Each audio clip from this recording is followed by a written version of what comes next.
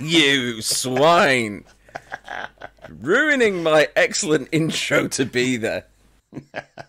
sorry, sorry. I, I thought I was going to start us off this week because we've, we've been a couple of weeks gone. So I thought, Yeah, that's enter true. with a Phoebe. Yes, Phoebe.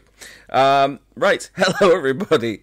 I am uh, one of your co-hosts, Steve Hester, and this is Poddywood, the show where we talk about movies with the people that make movies. And like my colleague has said, we are a few weeks late, and my colleague himself is here, and he is.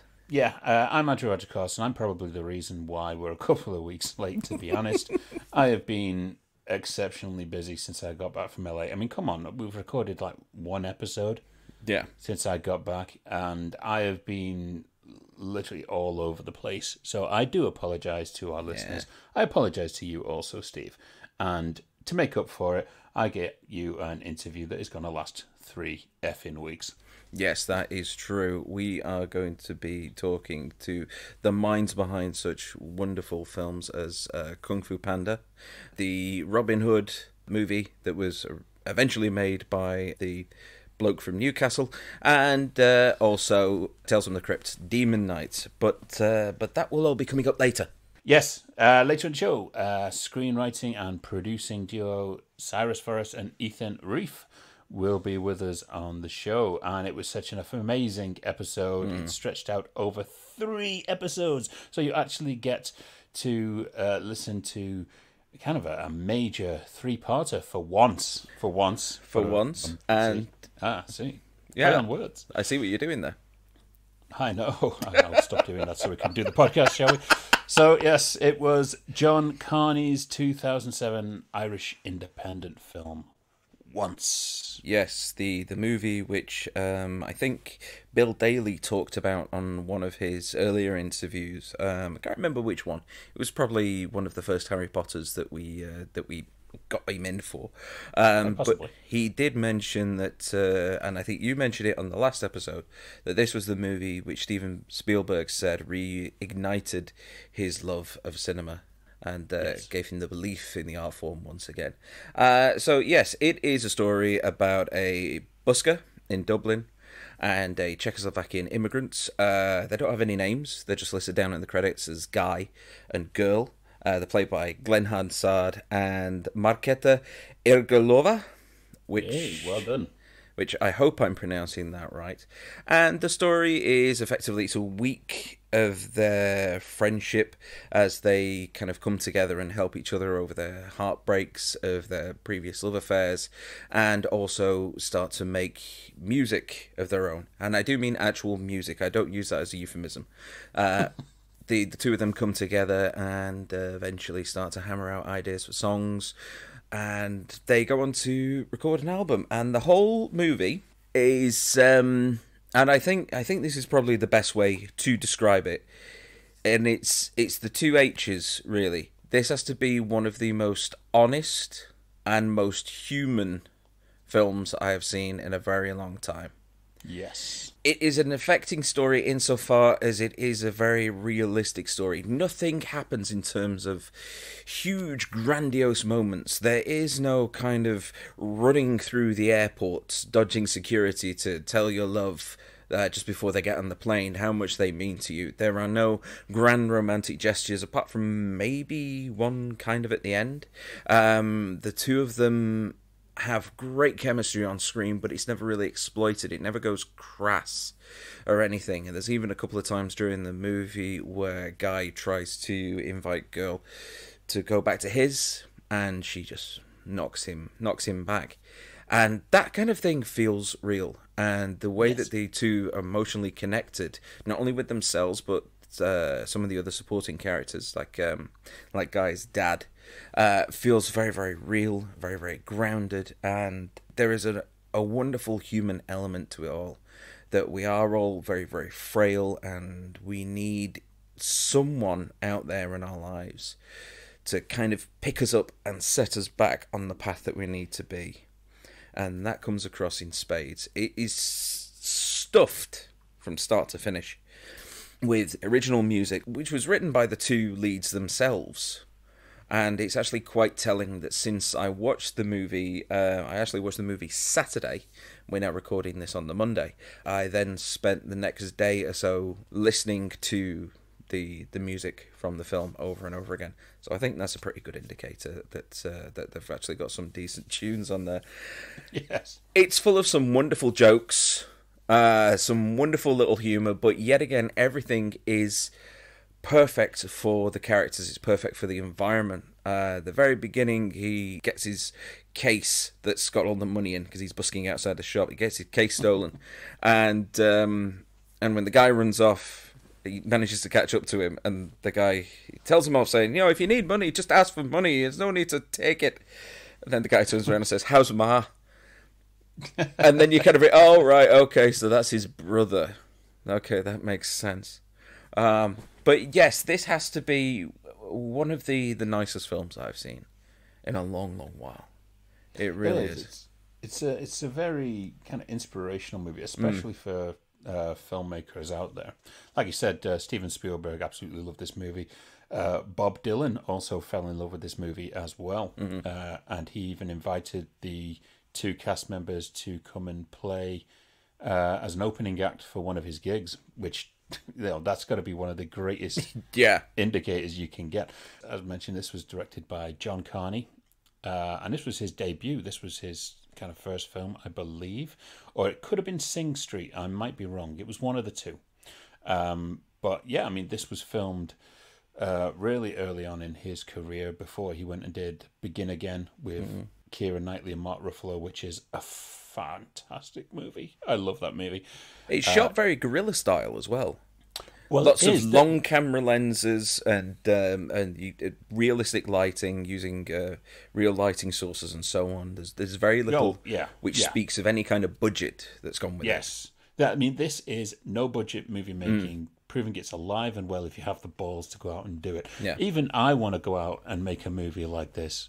And this was filmed with long lenses. It was filmed without permits. so a lot of the stuff going on, no one had any idea what to do.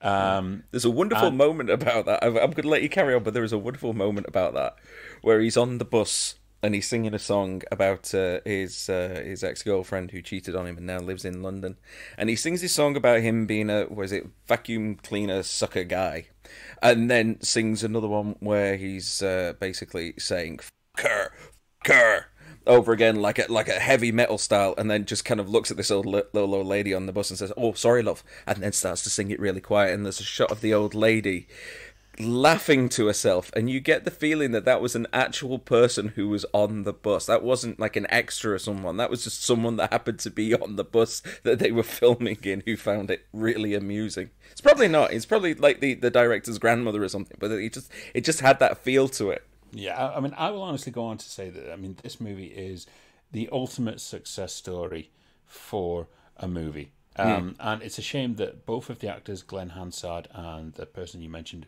I've forgotten the name. of Marketa Irglova Yeah, I just wanted to get to say it again.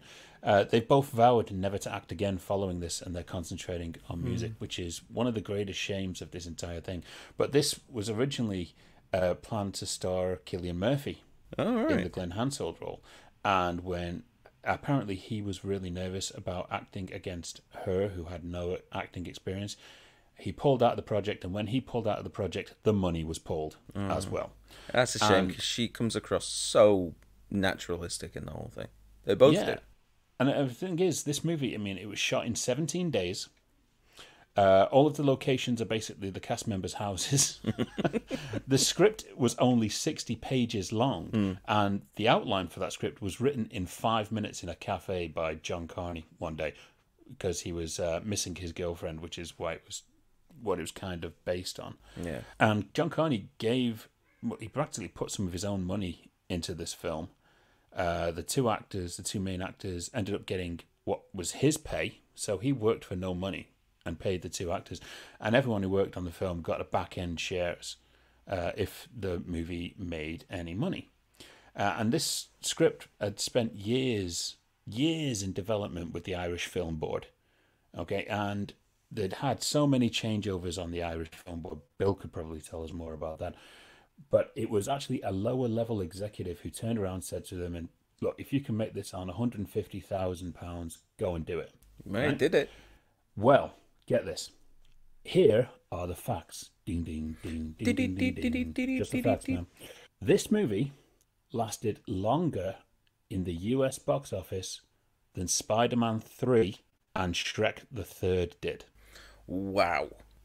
This went on to earn 23 million pounds against a 150,000 oh. pound budget. Oh, if you were taking a back end deal on that, you would have been rubbing your hands. Oh, yeah. Add to that, a theatre adaptation of this movie has gone on to win eight Tony Awards and been nominated for 11 other awards. This is the greatest success story in independent cinema history. Yeah. Add to that the song Falling Slowly, which is an incredible song, yep. wins the Academy Award for Best Song. Yeah. No, I could I can believe that. It's it's such it's such an earworm. It really does stick in your head afterwards. This is the the perfect accompaniment to a movie like Before Sunrise. Mm. And it's that type of movie that can be just immortal. And you were mentioning before about the uh, the scene where he steals his money. Mm-hmm. Uh, apparently, be- it it doesn't actually pay to not let all of the people know you are filming a movie because in one take when they did that, someone actually tripped the guy and attacked him for stealing the money. and then they had to rush in and tell him, "No, no, it's for a film." But uh, that's that's the uh, the problem of uh, shooting. But but it's it's an inspiring movie. You've got to watch it, every is. now and again, especially if you want to make movies. I mean, this goes to show you you do not need all of the Hollywood glitz and glamour or the huge budgets to go and make yet another craze movie. No, you don't. You know, this kind of thing reaches an audience from being so authentic. I think the the only time that um, it kind of breaks that feel is there's a moment where the girl goes to an off license to get some batteries, and then she's coming out. She's got headphones on with the, with a Discman. Do you remember them? Remember them? Oh, yeah. Portable CD God. players. Oh dear. And um, she's she's walking down the road and she's singing the song to it while she's listening to the beat on the headphones. And there's one final shot where there's uh, there's a crane shot which goes up from the street and upwards. That is, I think that's the only time in the movie that kind of movie making breaks in. Yeah, and you know that was the most expensive thing on the entire movie to pay for was that crane hire for a day. That doesn't surprise me. The thing is, you could make this film even cheaper now. If you look at the, the, the cameras that you get on iPhones now, and and who was it? Was it um, was it Steven Soderbergh that filmed oh, yeah. a film on, a, on an iPhone? So you could do that using the tech that you've got in your pocket, but you need to have this wonderful human and heartwarming emotional story to go with that. And this this just nailed that so wonderfully and perfectly. Yeah, it was beautiful. So, yeah, was it worthy of what's in the box for you? Oh, totally, totally. Absolutely, it made your life better for seeing it. It did do actually, and it it um, it achieved the the perfect thing where at the end um, there was a little tear in my eye, um, because it doesn't kind of wrap up the way that you think it's going to, but the way that it does makes perfect sense for everything that has gone on before there. The the only things which which did kind of uh, stick out to me as well. Two last uh, observations is the fact that Glen Hansard, he's got a very kind of almost Cat Stevens way of uh, singing, or, or Yusuf Islam as he's uh, now known. He's got that kind of wonderful, kind of slightly wavering voice, which is absolutely wonderful. And the other thing is, is in the party scene and they're all sat around and they're they're having they're having all kinds of drinks going on, and they all start singing and you know all these emotional songs. But all I could think of when I was watching that was a Billy Connolly sketch. Oh, that he oh, did yes. say, "Erifo, oh Siribi, I love you." It was it was that. I all I could think of was that throughout that entire scene. Oh. Genius. But no, it was a wonderful film, absolutely heartwarming, life affirming, and a brilliant example of what you can do if you don't have any money in filmmaking. As long as you've got a good script, good core concept, and the right people in to do it justice, you can make a film with nothing in your pocket. Exactly. So, sometimes, you know, actors and other people who work on movie just need to go and take that chance, mm. you know, and, and actually involve themselves. And for you people who are interested in seeing it, you can actually watch it on Netflix. It is on Yes. Netflix at the moment. So do yourself a favor. Choose that as your Saturday night movie. Watch Yes. it. You'll really Although, enjoy it. considering that Netflix seems to be hemorrhaging money and, and uh, stock shares at the moment, might not be Yes. on there for too much longer. Uh, are you kidding? They're going to use that as a benchmark for all the rest of their films now that they've got no money. Yeah. So, so yes. Uh, once there you go. It's uh, it's a great recommendation. really is. And uh, we've got a bit of a mixed bag for our anniversaries this week. We watch them again all of the time, or we get them on Prime for free. But we only know how old they are when we learn their anniversary. yeah, we're away for what, like about three weeks, and we still haven't changed that bloody music. I must chase Neil, our music Yeah. man, for something new. I think going with a bit of electro pop. Yeah. Tainted love style, that'll do. Yeah. So, what do we have? Well, uh, we have four this week, and I'm sure there's one of them you're going to spend a good 20 minutes on alone. So you'll have to contain yourself, Steve. All right. But more on that one in a bit, because this week in 2001, a number you don't like, obviously. This, but in 2001, around this week, a movie called Driven was released. Oh, that was Stallone's comeback vehicle, pardon the pun. Yeah. Yes. Well, Driven, um, in a way, it kind of achieved that, but uh, it also achieved a lot of other things as well. Yeah, it got people talking about him again, but for all the wrong reasons. Oh, yes. Well, here's a little bit of research stats for you. For one, yeah, that'd be good. We need to get a little bit of music on that. We do. For one, this was directed by uh, the basically the motion picture Libra scale himself, Renny Harlin. Either he gets it absolutely brilliant or catastrophically wrong. For every cliffhanger, which is awesome, there's a cutthroat island, which killed Carolco. For every long kiss goodnight, there is the legend of Hercules. Don't, don't, don't, don't track it down. Honestly, just please don't. So yes, uh, it was directed by Renny Harlin, and uh, the sad thing about this is Stallone actually lists this movie as one he wishes he had not done, which is quite something when you have "Stop and My Mum Will Shoot" on your resume. You know, I don't think actually Driven is as bad as people think. Now, have a look at this. Originally, way back when, Stallone was trying to do a biopic of Ayrton Senna. Right. But somehow, in the process, when that project didn't initially get picked up, it transformed into this. Now, this project was done by Franchise Pictures, and there's going to be more on them later on this season. Trust me. Try an entire show. Uh, Franchise Pictures was uh, a company uh, run by someone who had a chain of laundrettes. And basically, he found a way to finance Star's dream vehicles. Step forward, Battlefield Earth. More He wasn't doing any money laundering, was he? Yeah. That was a joke, fi- please don't sue. We'll find out in a couple of weeks. Um, so this was a project that Stallone wanted to do, and originally they had done some forays into action. I think they did a movie with Stallone called Avenging Angelo. I think they also did his Get Carter remake. So yeah, so the writing was kind of obviously on the wall at this point. Uh, they'd done Wesley Snipes' movie The Art of War, which pre- did pretty well, I think, actually. Um, and then there was this, and the first cut of this movie was apparently four hours long. Wow. And if you're interested, 51 minutes of those edited out minutes to make it a two hour movie are on the deleted scenes on the actual DVD. so you've practically got a TV pilot Wow. of cut scenes. If that doesn't highlight that this was a star vehicle, no, we're just going to shoot exactly what we want.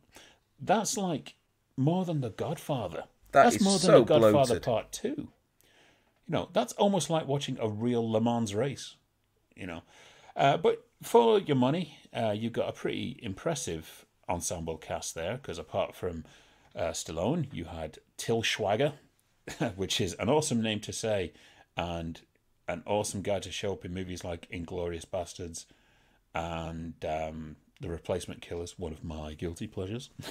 But yeah, he was he was pretty big German star, and then ended up going on to star in the Uwe for movies. So yeah, then you had Burt Reynolds, good old Burt Reynolds, who does the entire movie from a wheelchair, and this was one moment in Driven where he showed more genuine acting and emotion than you've seen Burt Reynolds do in decades. So it's worthy seeing on that. Plus, you've got Gina Gershon, you've got Robert Sean Leonard. You know, it's kitted out with uh, a whole bunch of people, and unfortunately, Stella Warren as well. Uh, more on that in a minute. Now, Driven, Stallone got the idea of doing this film whilst making Judge Dredd. That's a hell of a leap, isn't it? Yes, From and it's also no suitable environment for coming up with an idea. no. the movie, the Judge Dredd movie, is something that screams out uh, studio interference if ever I have seen one. Yeah, thank God for the Karl Urban version. Yes. Now with Driven, it took four years to finance the movie, and obviously in steps franchise pictures, and uh, you know it's it's Stallone's idea for his comeback, which wasn't such a bad thing. The only bad thing about it is the fact that it had a seventy-two million budget. Okay, not bad for the time. It made thirty-two million. Oh, no, that's not good.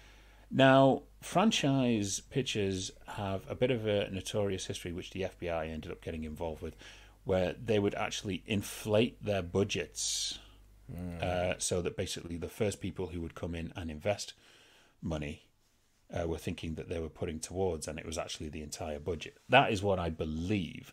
We are going to get more on that story. I've heard conflicting kind of stories on it, but some of them have said the exact same thing.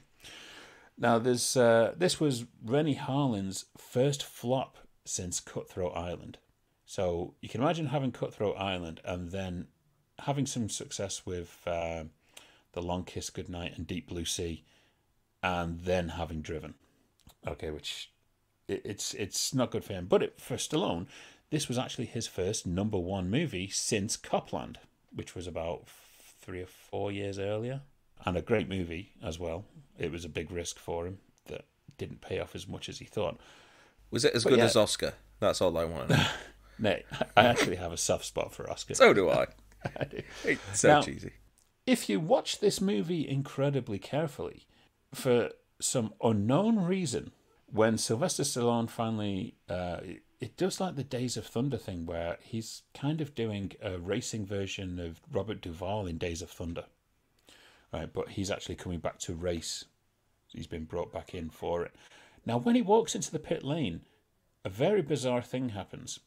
If you're very careful, you can spot Dustin Hoffman in racing gear saying hello to him Okay. in one of the most random things ever. And it's like, you know, that spotting Daniel Craig in The Force Awakens.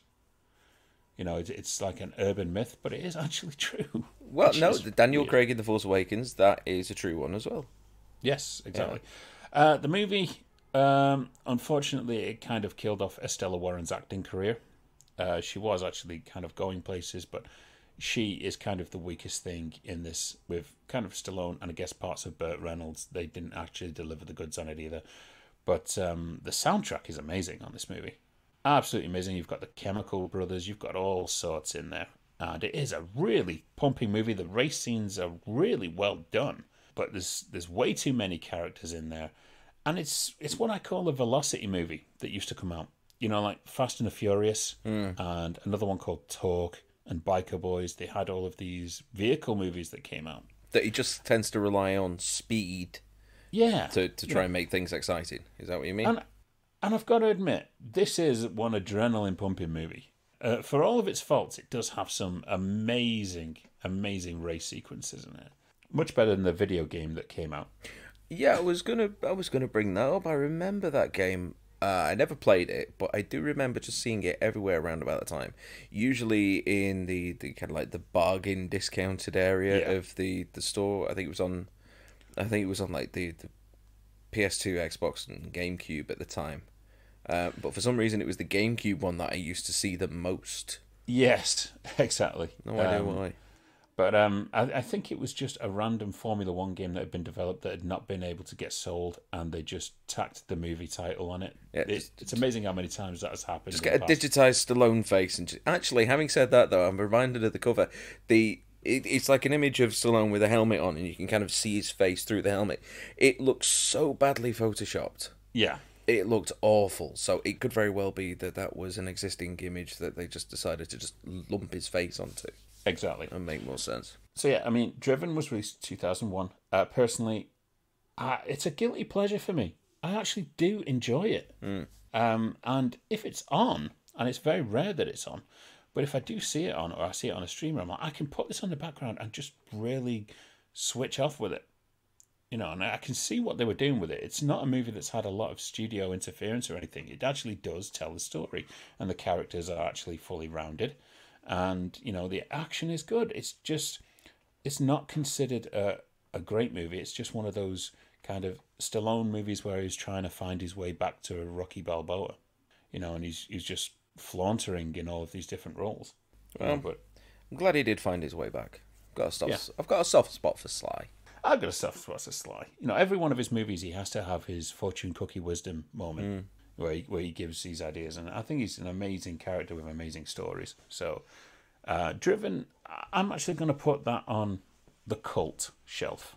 Yeah. and say it is worth delving into and watching. You know, just don't expect it to be um, Le Mans or Grand Prix or any of these fantastic racing movies that have come out over the years. All right. Well, that's the the first one, but we got three more. So, what do we have for your next offering? Okay, well, we're going back 25 years here. And uh, it's a shame because we really could have covered this arc if we were doing every single week, and my apologies that we're not. So we're kind of coming in at the back end of this. But, um, and I know you're going to want to wax lyrical about this for quite a while, but we're going to try and keep it on track here. But 25 years ago this week, Return of the Jedi Special Edition was released into cinemas. Okay. Okay. Right. So, as you know, uh, directed by Uh, Richard Mark One. Yay! You- You're the one person who knows. So, Yeah, Welsh director because he wanted to get Steven Spielberg in, but there was issues with the uh, with the the union because he ended up quitting the union after uh, making Empire Strikes Back because they were insisting about the.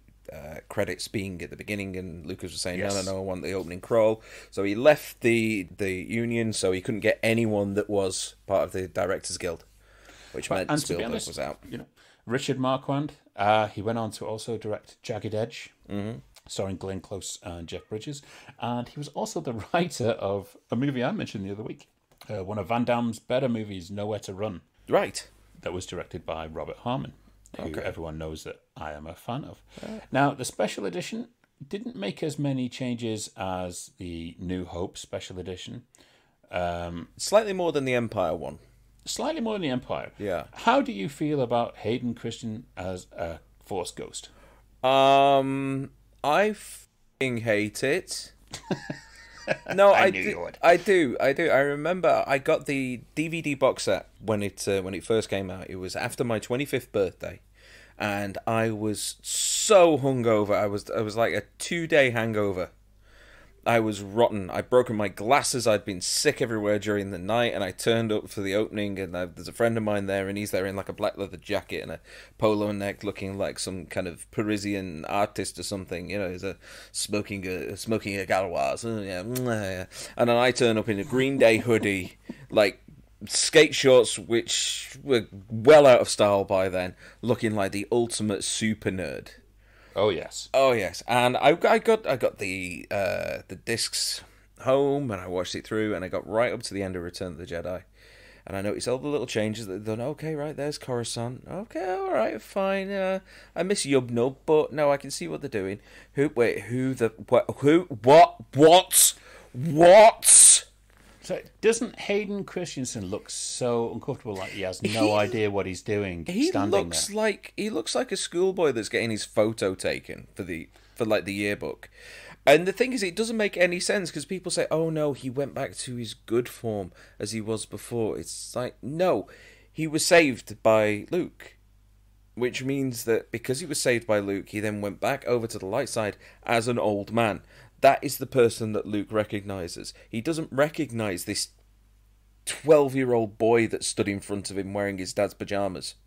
Now, I've got no problem about Hayden Christensen in the in the prequels. I've seen him act in uh, a few things, and you get the feeling that he was just let down by a terrible script and bad direction. Yeah, I don't Uh, think he's the best actor in the everybody looked but- terrible in that movie. Yeah. Samuel L. Jackson even delivered terribly.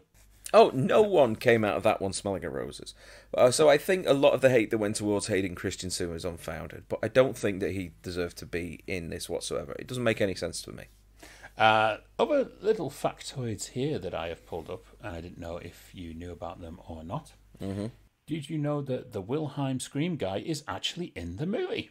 Oh, uh, what Ben Burtt? Yes. Is it Ben Burtt? No, Ben Burtt was the guy who did the sound. The, the Yeah. actual guy who originated the Wilhelm Scream, right? Oh, The, the, ones who actually voiced. right. When the guy gets, uh, the guard gets the battery thrown at him and he goes over the railing, Mm-hmm. that is the actual guy who originated that scream. Oh, I wonder if they yes, did that on purpose. Well, quite possibly. Quite possibly. Maybe he's not union. Could be. Other things to notice here the infamous meme inspiring Admiral Ackbar, it's a trap, It's a trap. yes, was actually changed in post because originally it was read out as it's a trick.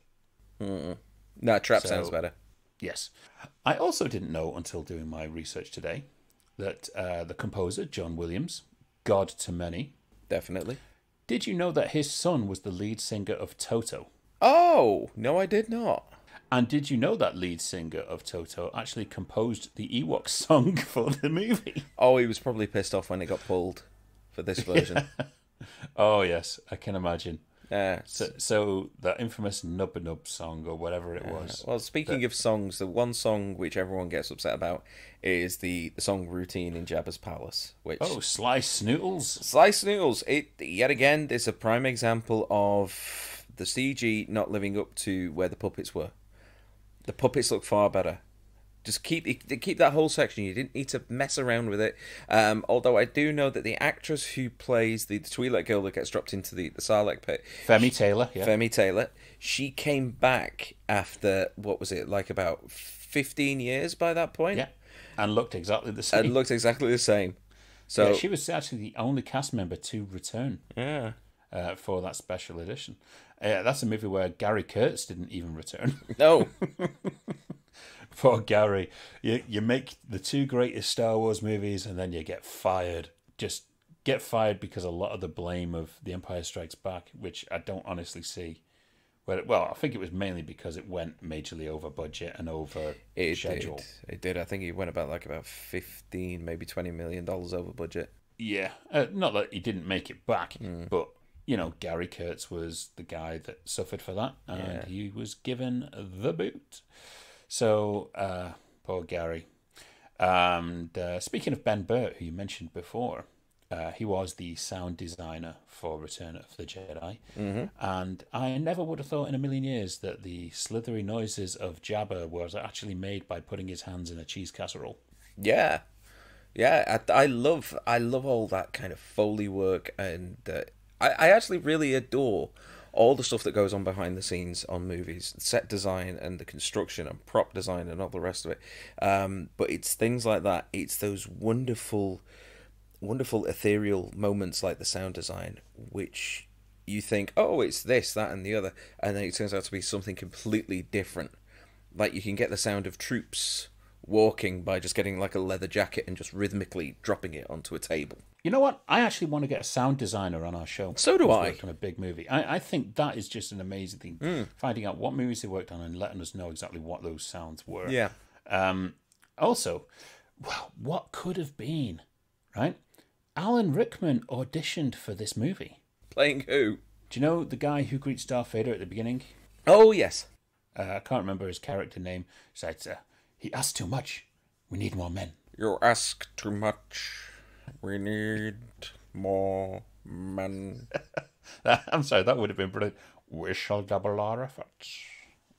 That would have been uh, that would have been incredible. Yeah, apparently he auditioned for it, didn't get it. George Lucas obviously knows nothing.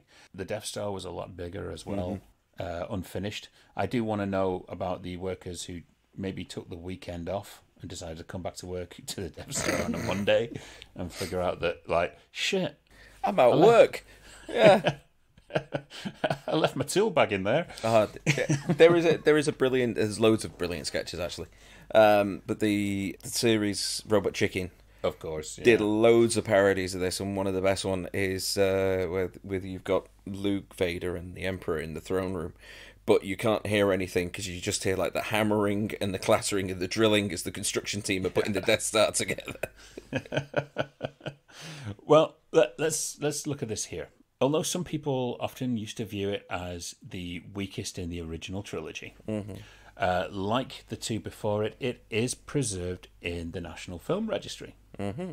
and it also holds two Guinness World Records. Steve, Which one? one, it holds the Guinness World Record for the highest box office gross for a screenwriter, being George Lucas Okay. because he was classed as a screenwriter. So he actually holds the record, the world record for the highest box office gross on this movie. And also, this movie has a Guinness record for the biggest opening weekend for a re released movie, Right. which means the special edition. yes. So this actually holds the record more than A New Hope or The Empire Strikes Back, Wow. which is bizarre. Yeah. because I genuinely would have thought one of the other two would have had that accolade more.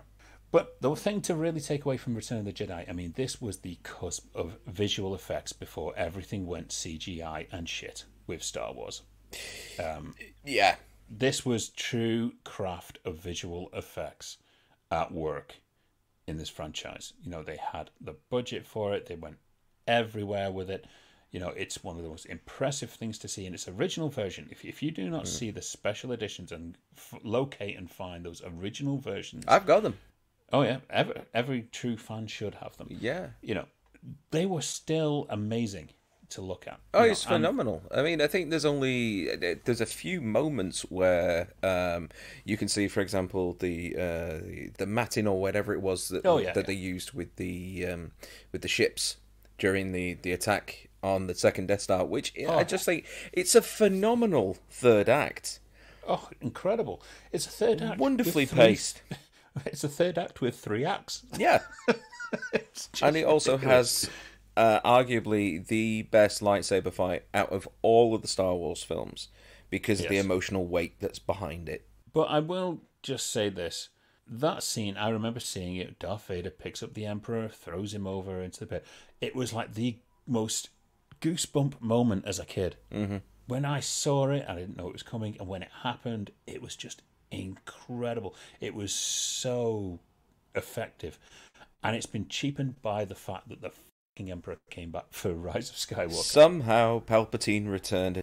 Any kind of shits that Oscar Isaac had about this franchise just went completely out the window when he had to say that line. you could tell. Part of his soul died on that day's worth of shooting.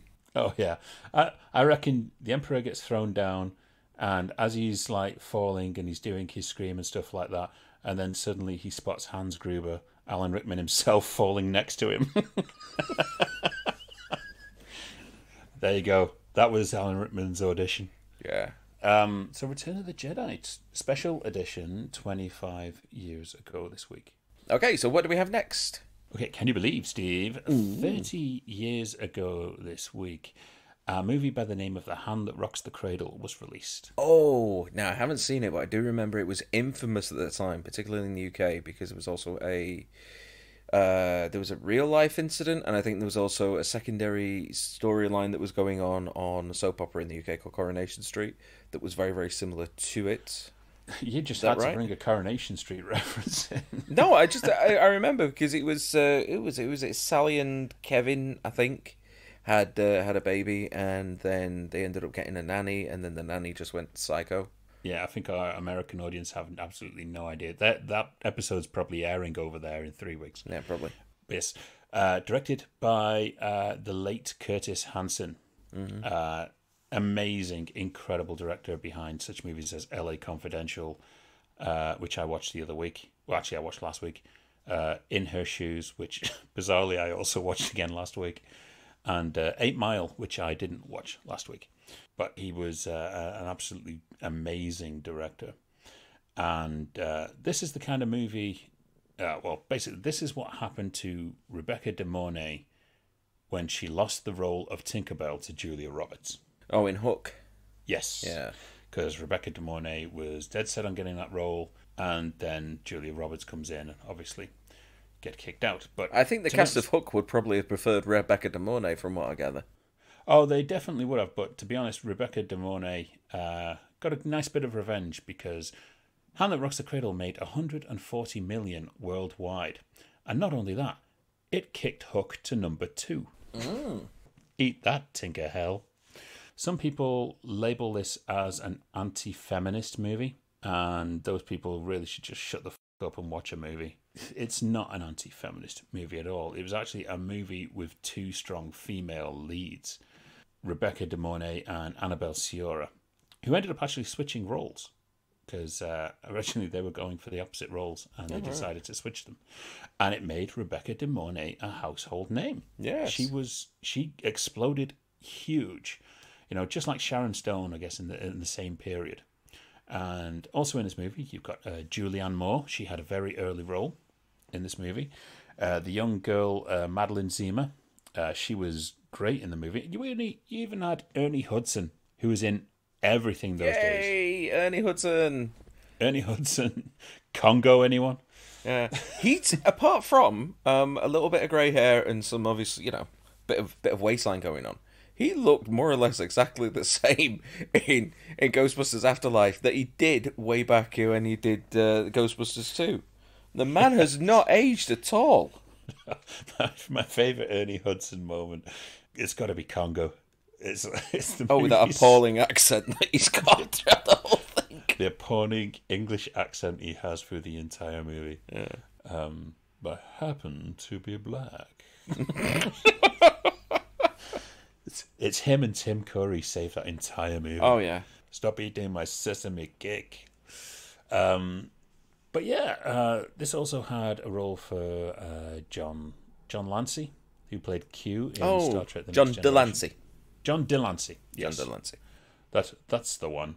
And the movie was really big. I was surprised at how big the movie actually was um, when it got released. You know, but making 140 million, you know, making a household name and to kick Steven Spielberg off the number one spot, that's nothing to be scoffed at. No, certainly not. But there is something to be scoffed at, Steve. Ooh, is it cake? I like cake. It it's not sesame cake.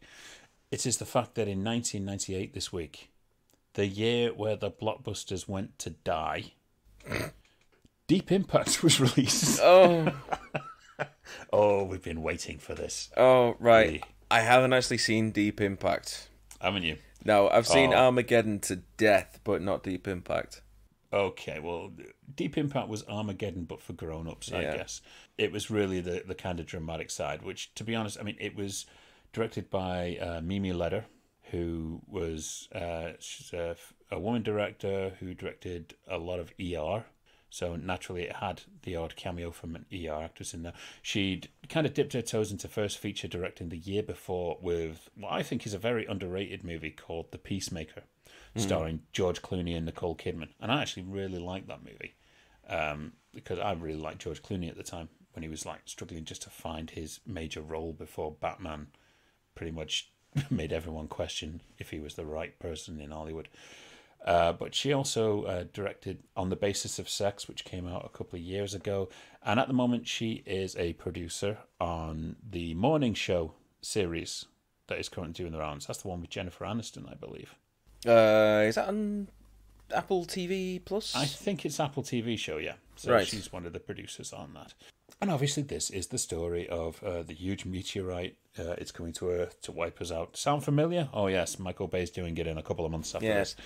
Um, but there were some things about this when I watched this again this week that really kind of struck me.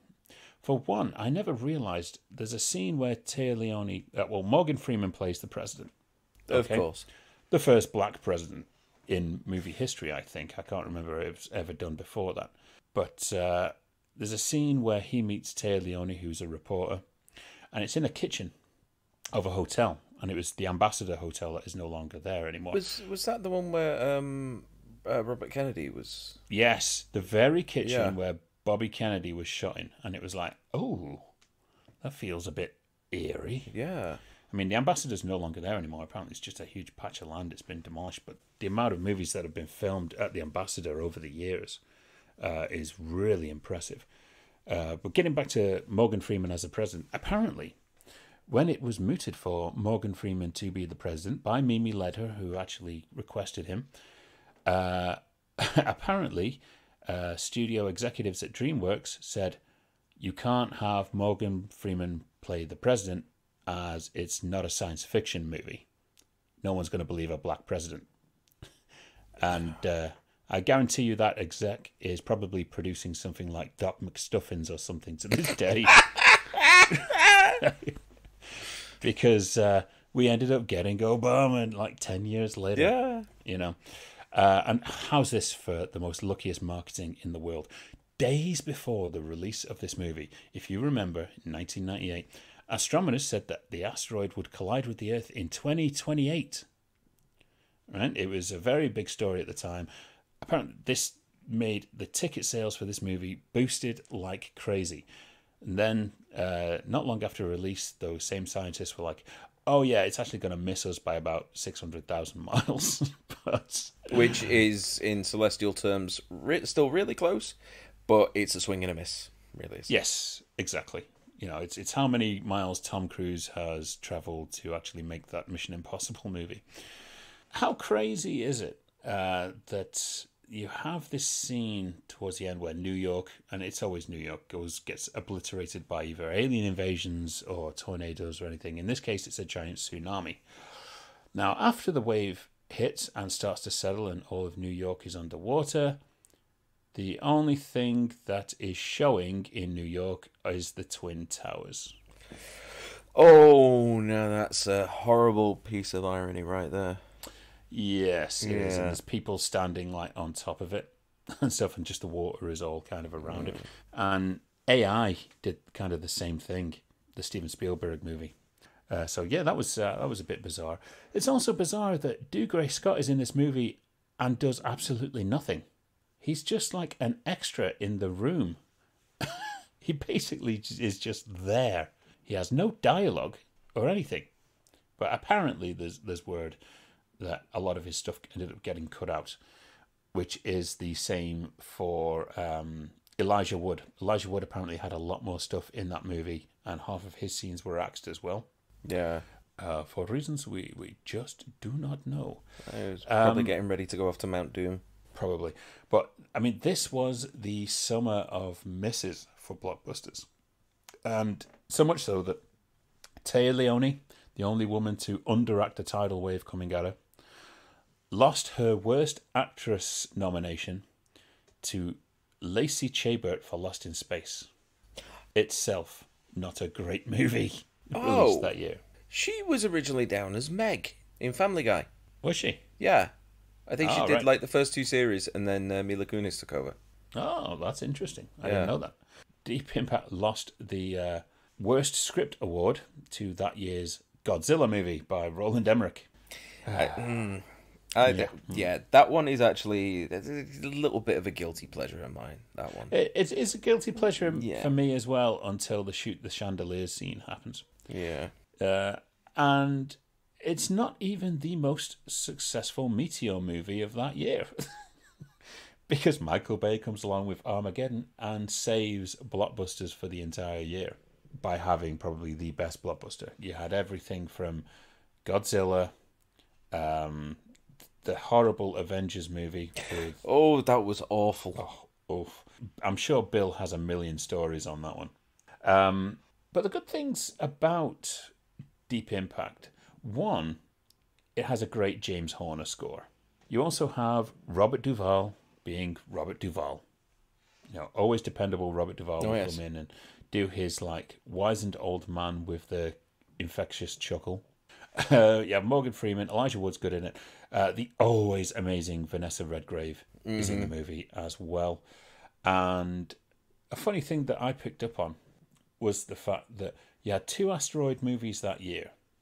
One of the astronauts in Armageddon is Ben Affleck. No surprise there. And in Deep Impact as one of the asteroids, you get Jon Favreau. As And one of the you put connection asteroids. John as a- as- Favreau was one of the asteroids. there- as of the asteroids, yes. he wasn't that fat. Come on. No, no, no. No, as one of the astronauts. So when you look at that, you've got, okay, you have Daredevil and Foggy Nelson appearing mm-hmm. as astronauts. So, yeah, as that's a Daredevil reference for people who remember that there was a Daredevil movie prior to the incredible series that came out on Netflix Yeah. slash now Disney Plus. Which, if you haven't watched, you need to watch that. It is phenomenal. Yeah, I still haven't watched the third season yet. I'm I'm just I'm so behind. But um, yeah, uh, Deep Impact 1998 was released this week, and that is the anniversaries for this week. Well, for mixed bag, uh, mostly good, um, but uh, bookended with some kind of questionable stuff. But ultimately, it's uh, it's four films that are probably worth seeing. Yeah, yeah, I'll give that. Yeah, well, I guess it's guest time. Well, as we have a return to having guests on our show after a month break, we decided why not invite two?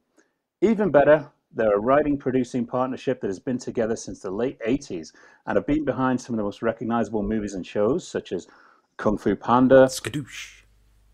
Tales. God damn you! I was on a flow. Tales from the Crypt, Demon Knight, uh, what became Ridley Scott's Robin Hood, Bulletproof Monk, and many others. And sometimes when we learn of partnerships, there's always a straight man and a wild card. It's kind of been the formula for as long as moving images have been around. you know, you can have Martin and Lewis, Simpson, Bruckheimer, Peanut Butter and Jelly. It, it's going to be interesting to hear if it falls into the realm of writing teams also. So it's our pleasure to introduce uh, from Los Angeles, of course, Cyrus Voris and Ethan Reiff. Good morning, guys. How are we? Good Hey, morning. Andrew. Good morning. Well, We're this good, is going thanks. to be a, a pretty interesting show, seeing as though it's incredibly dark and late here and Yeah. a bit of breezy, and we can guarantee you've got better weather than we have. Yeah, wait. Uh, Did you I- say good? You said good morning, guys, and it's good morning. It's afternoon not- where we are yeah. and nighttime where you are. So, I don't but it is morning you, someplace. but- Yeah, it's So- Someplace, yes. somewhere Well, well- around the world, someone's waking up right now. The majority, for except us four, the people who are listening to this is probably listening to it in the morning. So let's let's suspend. There the- Oh, okay. So That's we'll go with that. All right. That sounds That's like good. a, you value you you value the listeners, your audience. That's great. that's a dubious but but possible theory. So we'll go with that, Andrew. Yes, we we value the audience. Otherwise, we'd have to get real jobs. Yeah, nobody wants that, especially not me. God forbid. Well, uh, as we start out here, uh, well, naturally your careers started out individually at first. You were both undergrads at uh, NYU's Tisch School of Arts. So when did you guys first originally meet? Um, it's interesting. I mean, I'll answer that specific question in a moment, but the truth is, our careers as screenwriters and feature screenwriters, and then TV writer producers, executive producers, showrunners. There's like a gobbledygook, you know, multiple uh, terms, I guess, for what we do in television, whatever. Um, we have we had minimal, minimal, barely minimal individual successes as writers separately, but we didn't really have much of that apart from after we became partners a- as writers. So yes, we did start out. Cy did certain things on his own and and made a living in the sort of film industry in New York, whatever film and television industry in New York. And I sort of I I did also maybe at a slightly lower level than he was at, whatever. But we didn't really have any significant commercial success, professional success as writers until after we teamed up and started working together. So yeah, by Um, the way, it's but- it's six it's six twenty one a.m. in Seoul, Korea. just so you know, in Seoul, that's who's listening to this in the morning. Uh, yeah, I, I, let me jump in and just say that uh, I think what Ethan's leading to, we we uh, yeah, we did some oddball stuff, uh, you know, separately, and we actually met. Uh, we were both at NYU Film School, but not we didn't know each other in film school. We actually uh, had Ethan and I were a year apart, so we weren't in any of the same classes. But we had a mutual friend who I actually worked with at the uh, NYU Student Copy Center, which is where you made piles of Xerox copies for disgruntled students all the time and occasional faculty and teachers. Um, and and a guy I worked with there was actually in Ethan's a bunch of Ethan's classes. And didn't we meet at a, a, a graduation party or yes, something? Yes, we met at that guy. That guy's name was Michael Wolstadt, and he was a classmate of mine all through uh, films. My four years of uh, film school, and he and like Cy just mentioned, he was a, co- a workmate, a, yeah, a work, yeah, co-worker of Cy's, and he threw a graduation party when the class that he and I belonged to was about to graduate.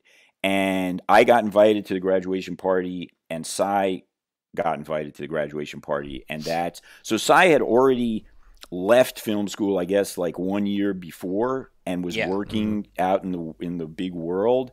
But that party is where he and I met, and we we talked, and it's kind of hard to believe, I think, in 2022. But at the time, we were the only two people we sort of knew once we started talking who were interested in writing traditional Hollywood feature screenplays from the NYU film program. There's a separate there's like a separate department for screenwriting um, and in the 80s NYU was still very much uh, experimental documentary avant-garde film uh, school and Cy and I both went to school there, and I think we both learned some valuable lessons there about you know cinema, filmmaking, movies, whatever. But both of us, like the cornerstone of our of our creative souls, was traditional Hollywood feature movies, and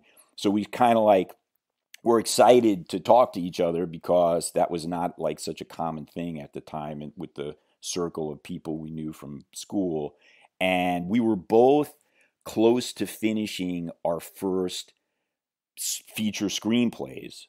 Cy's the first one that Cy wrote, and me the first one I had written. And we sort of made a deal. We exchanged like phone numbers, whatever. And we said, "Oh, when when we when you finish, let's trade scripts, and we can read each other's scripts, and you know, give each other feedback or notes or whatever." And so we did that and I, I, when we when we got together again later on to which was at a exchange I believe at a Ethan at a Mets Reds game. we got tickets to go to this Mets game and trade scripts. So we'd watch a New York team and a and a Cincinnati team, you know, beat on each other and exchange screenplays. Yeah, so we were reading each other's screenplays and giving each other feedback and everything. And then the, way I remember it, Ethan got we had a uh, a friend who was a Well, the, a- the not to not to overdo it, but we we traded scripts, we read each other's scripts, and we were both really impressed. But the funny thing is, we each had like one big note about something we didn't think worked that well in each other's screenplay. It turned out in both cases they were like the person's favorite thing in the script written. So Exactly. it was literally like, ah, it's great, except there's this one thing on page uh, 68 where, you know, this one character has this crazy monologue that goes on for like two and a half pages. And what were you thinking? It's like, that, that's the most important thing in the script. That's the brilliant, you know, soliloquy. It's worthy of Shakespeare. So it was a But- proper kill your darlings moment, was it? for both of you? Exactly. That's exactly, exactly, what it's it true. But then we, we had a mutual friend who was a few years older who was already starting to make a living uh, writing sort of low budget horror movies and moving into the studio realm is a guy by the name of uh, Mark Patrick Carducci, who is sort of, I guess, his most famous thing for genre fans is he co wrote uh, Pumpkinhead, which is a Stan Oh. Winston uh, a really good Stan Winston movie, which ironically didn't even get a theatrical release at the time and is now, I think, a really well regarded cult horror movie. Yeah. So, uh, Henriksen. yeah, uh, Car- Yeah, Carducci right. was a friend, and uh, the way I remember, it, Ethan got a call from Carducci because he was like starting to write movies for New Line and stuff, and and and Carducci had been approached by Sony, who was uh, just starting, who basically was starting to get into, I guess, what you would call the software business, meaning we're going to do create, we're going to do content to sell our VHS players and our cameras and everything.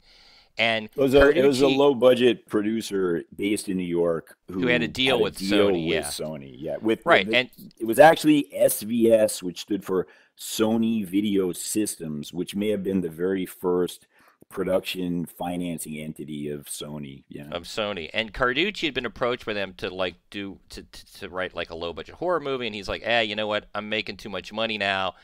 But uh, call my these young uh, buddies of mine are try, are really talented. and They're really interesting. So this producer called Ethan and I guess there was like a time frame thing, and it was basically, oh, do you have any like we're looking for low budget horror movies, uh, but we need something to read by Friday or something. Do you have anything? And Ethan basically was like, well, I don't have anything, but uh, let me call this guy Cyrus, who I just met, or who I, who I know. He, maybe he'll have something. And Ethan called me and said, "Hey, this." Yeah, it wasn't like that because Ethan Ethan would never tell a producer, "I don't have anything." That's not really a, a good okay. move. Well, Ethan however, listened to the call and then called Cy and then go on, Cy. The point is, I didn't have anything. Ethan didn't have anything. And I said, Ethan, well, this guy doesn't know that. Let's just come up with something over the weekend, and we'll uh, we'll turn something into him on Monday because uh, this is an opportunity, and we both were obviously trying to make a living writing screenplays. What, and then what actually what happened was that phone call where I had called up Cy to tell him about the opportunity and see if he had something on his shelf. That call turned into a kind of spontaneous brainstorming session to try and come up with a project for a low budget horror movie that would fit into the paradigm that this producer had given me, which was it's got to all take place in one location and it's got to be, you know, I have to be able to make it for a really uh, a low budget. And we ended up on the phone for like an hour and we figured out to some degree the outline and and some of the details for this project that we blew totally into life over the course of that weekend because we just got together the next two days and like sat down and banged and out some crazy full blown like outline yeah. that was like I don't know 40 pages for a what would end up being you know probably a 90 minute movie or something and that ended up being Tales from the Crypt presents Demon Knight many years later. Right. Yeah, and thank God we we we wrote we wrote Demon Knight uh, in outline form uh, Ethan turned into the producer, and he hated it. He hated it. He was like, I remember yeah. it was a great line. I like movies that move. This movie's all it doesn't move. It's all in one location, and we were like, well, that's what you told us to write. So okay. But thankfully, because this low budget producer passed on Demon Knight, Ethan and I were like, well, geez, we got this 40 page outline and we think it's really good and it's really cool. We should just write the screenplay. Um, and then we basically sat together and we wrote what uh, eventually became the Tales from the Crypt movie, Demon Knight, which is our first uh, big produced feature, studio feature. Years later, as we said, I think this was like Ethan. I want to say we wrote this in 80... It was seven years later because we we wrote it in 88, 87 to 88, and the movie was actually released. It was produced in 94 and it was actually released in like January 1995 so it was about it was a, a seven or eight year uh, process from conception to actually going out in, into the world. Because that was the the origin part of the origin story right there. Yeah, that was the dawn of our collaboration, of our creative collaboration. It was interesting because, and we've gotten this question many, many times over the many, many years of our uh, professional partnership, but like why why does why has our why have we been able to work together for so long? You know why why have has our writing collaboration succeeded for so long? Because it isn't always the case with writing partnerships. And i would always give the same answer which was writing is like a very intimate pursuit. So most people who end up as writing partners are usually intimately acquainted with each other. They're either very, very good friends or there are husbands and wives or boyfriends and girlfriends or you know boyfriend and boyfriend whatever brothers brothers Be- sisters brothers yeah. mm-hmm. be- before they begin the work of writing together for me and Cy, oddly enough it was just this sort of like sequence of events that just coalesced we barely knew each other before we actually sat down and started writing together we had met we had realized that we, you know, I mean, we're virtually the same age. We grew up and had the same inf- creative influences, the same movies that we loved, or directors that we loved, or TV shows that we enjoyed watching. And then this opportunity sort of dropped in our laps, and we decided to try and take advantage of it. It got shut down or, or cut off. And then we said, hey, we should we should write this anyway. And I remember we got together at my place and sat down side by side, or Cy was standing up and I was sitting down at my like Commodore 64 computer. Oh my god! Yeah, that's yeah, which was this was, which was able to hold four pages of screenplay formatted text in a file at a time. So we had to stop and move on to a new file like every four pages. But anyhow, we sat down and we typed in. I typed in, you know, fade in and then we wrote the opening scene for Demon Knight.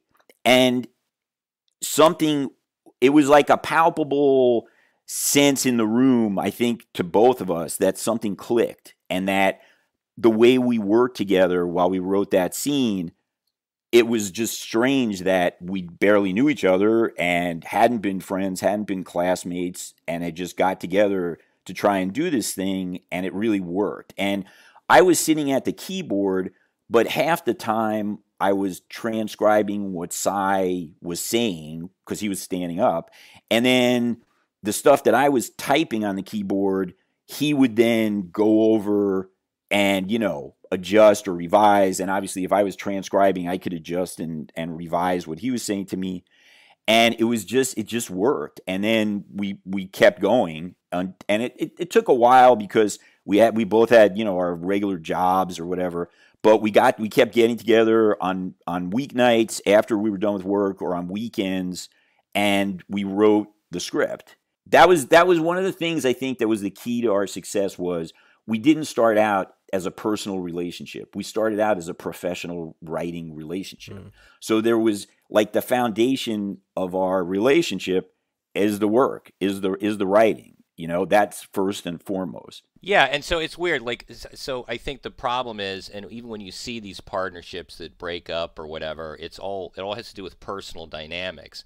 Like, I remember I tried to work on a project with my wife once, and it's one of these. It's a slippery slope where one minute you're arguing about a character or an action scene or a monologue or a scene, and the next minute you're arguing about the laundry.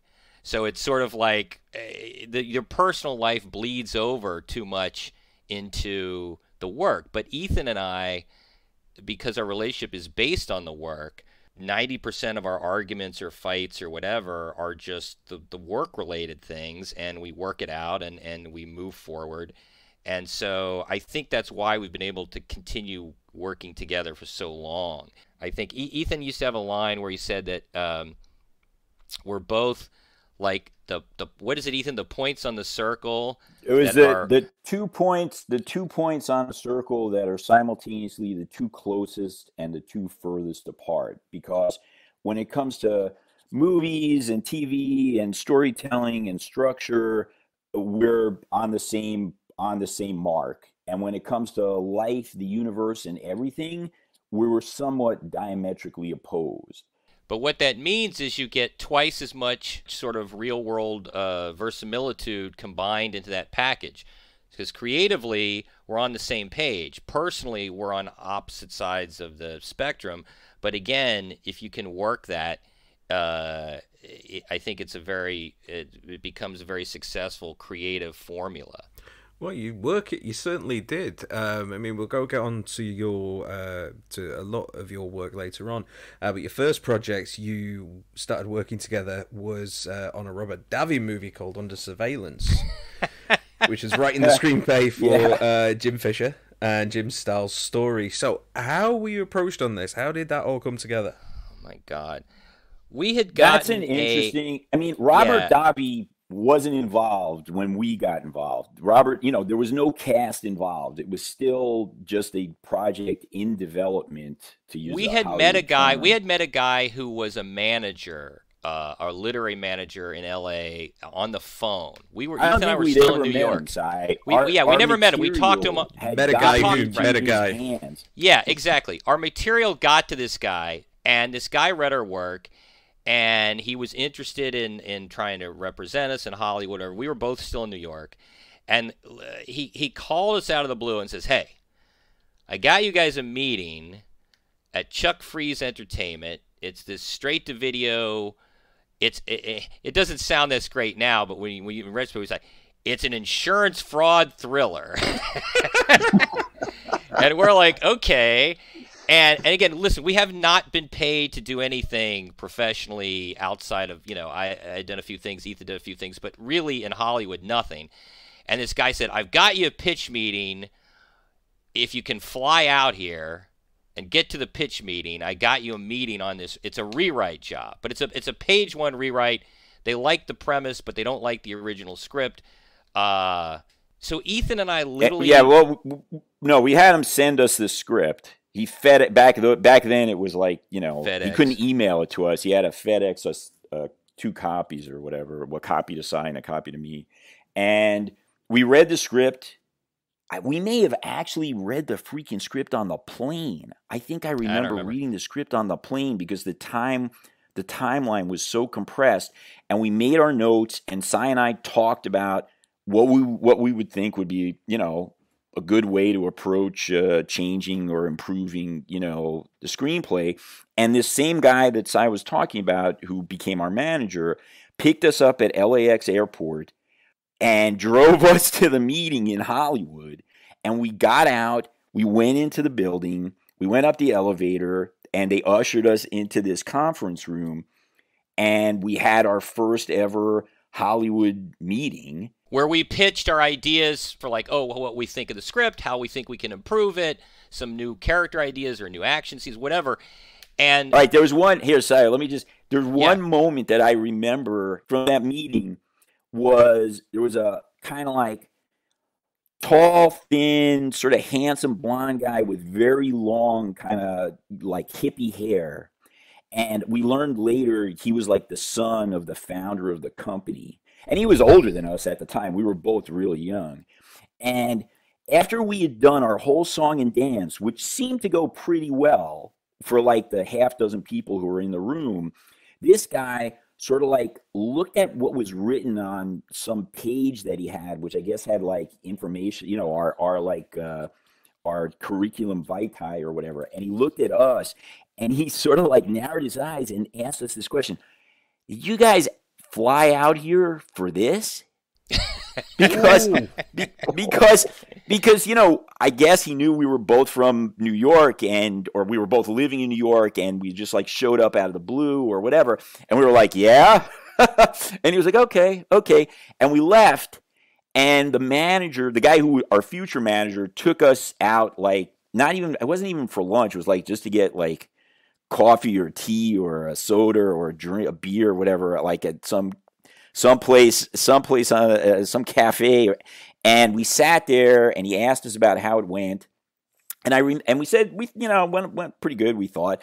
And i remember somehow calling my wife back in maybe he gave us because we didn't have cell phones this is before that you know for No. normal people and we were just normal people and i think i asked to borrow his cell phone and i called my wife back in in brooklyn new york and I remember this conversation because I said, you know, I don't care. If we get the job, that's awesome. If we don't get the job, I feel like we answered, we said everything we wanted to say exactly the way we wanted to say it. So it's one of the only times I've ever come out of an important conversation feeling that way. Because most of the time, there's something you forgot, there's something you oh, I should have said put this. the wrong way. There's something that slipped between the cracks of your, you know, uh, overly excited mind. And I was like, it was perfect. We did it. We did it exactly the way we wanted to. If they want to hire us, great.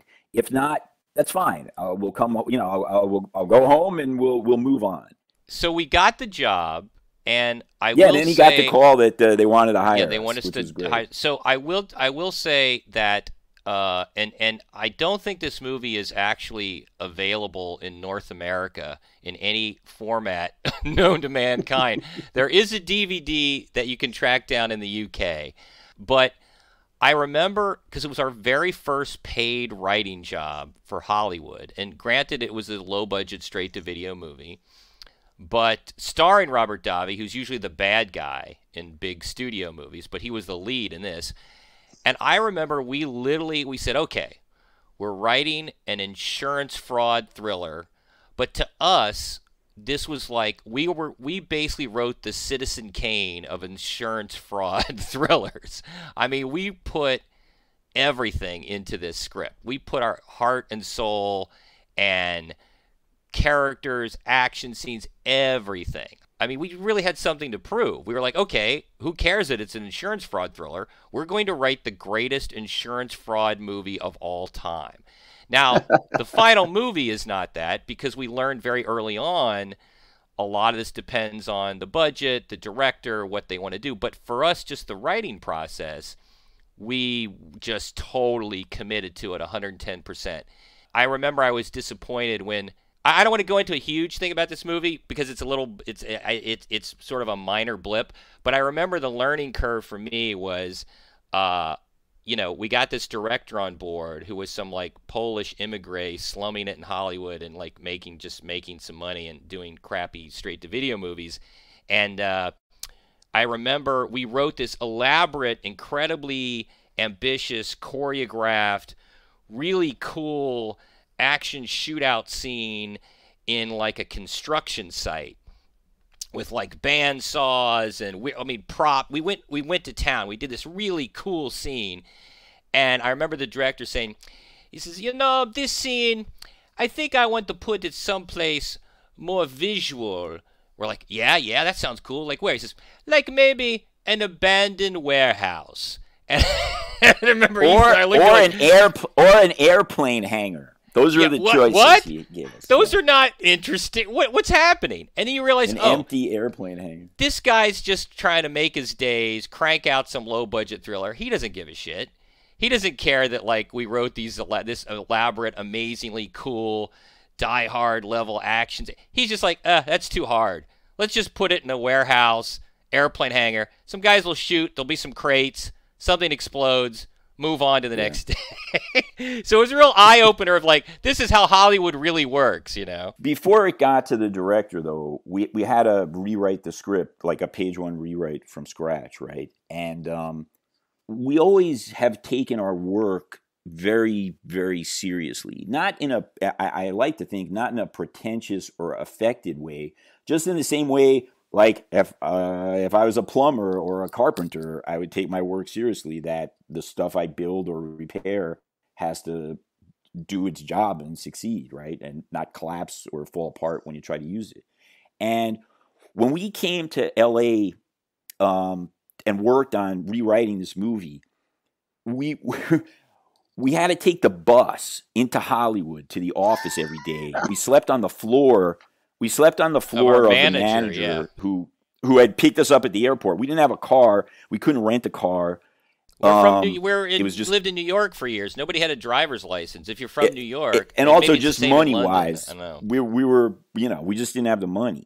So and he couldn't drive us to work and drop us off every day. We weren't his kids, so we would get up. We would take the bus. We had to change buses in order to get to from where his place was into Hollywood, and it was us and the domestic staff, you know, who are all Mexicans and Guatemalan immigrants, and yeah, who's riding the bus in L.A. in like 1992? and a couple of European backpackers from time to time. That would be the bus, which was fine. That was that was cool. But we'd take the bus, and at night, depending on how long we had worked at the office during the day at the studio slash, uh, yeah, it was it was a studio.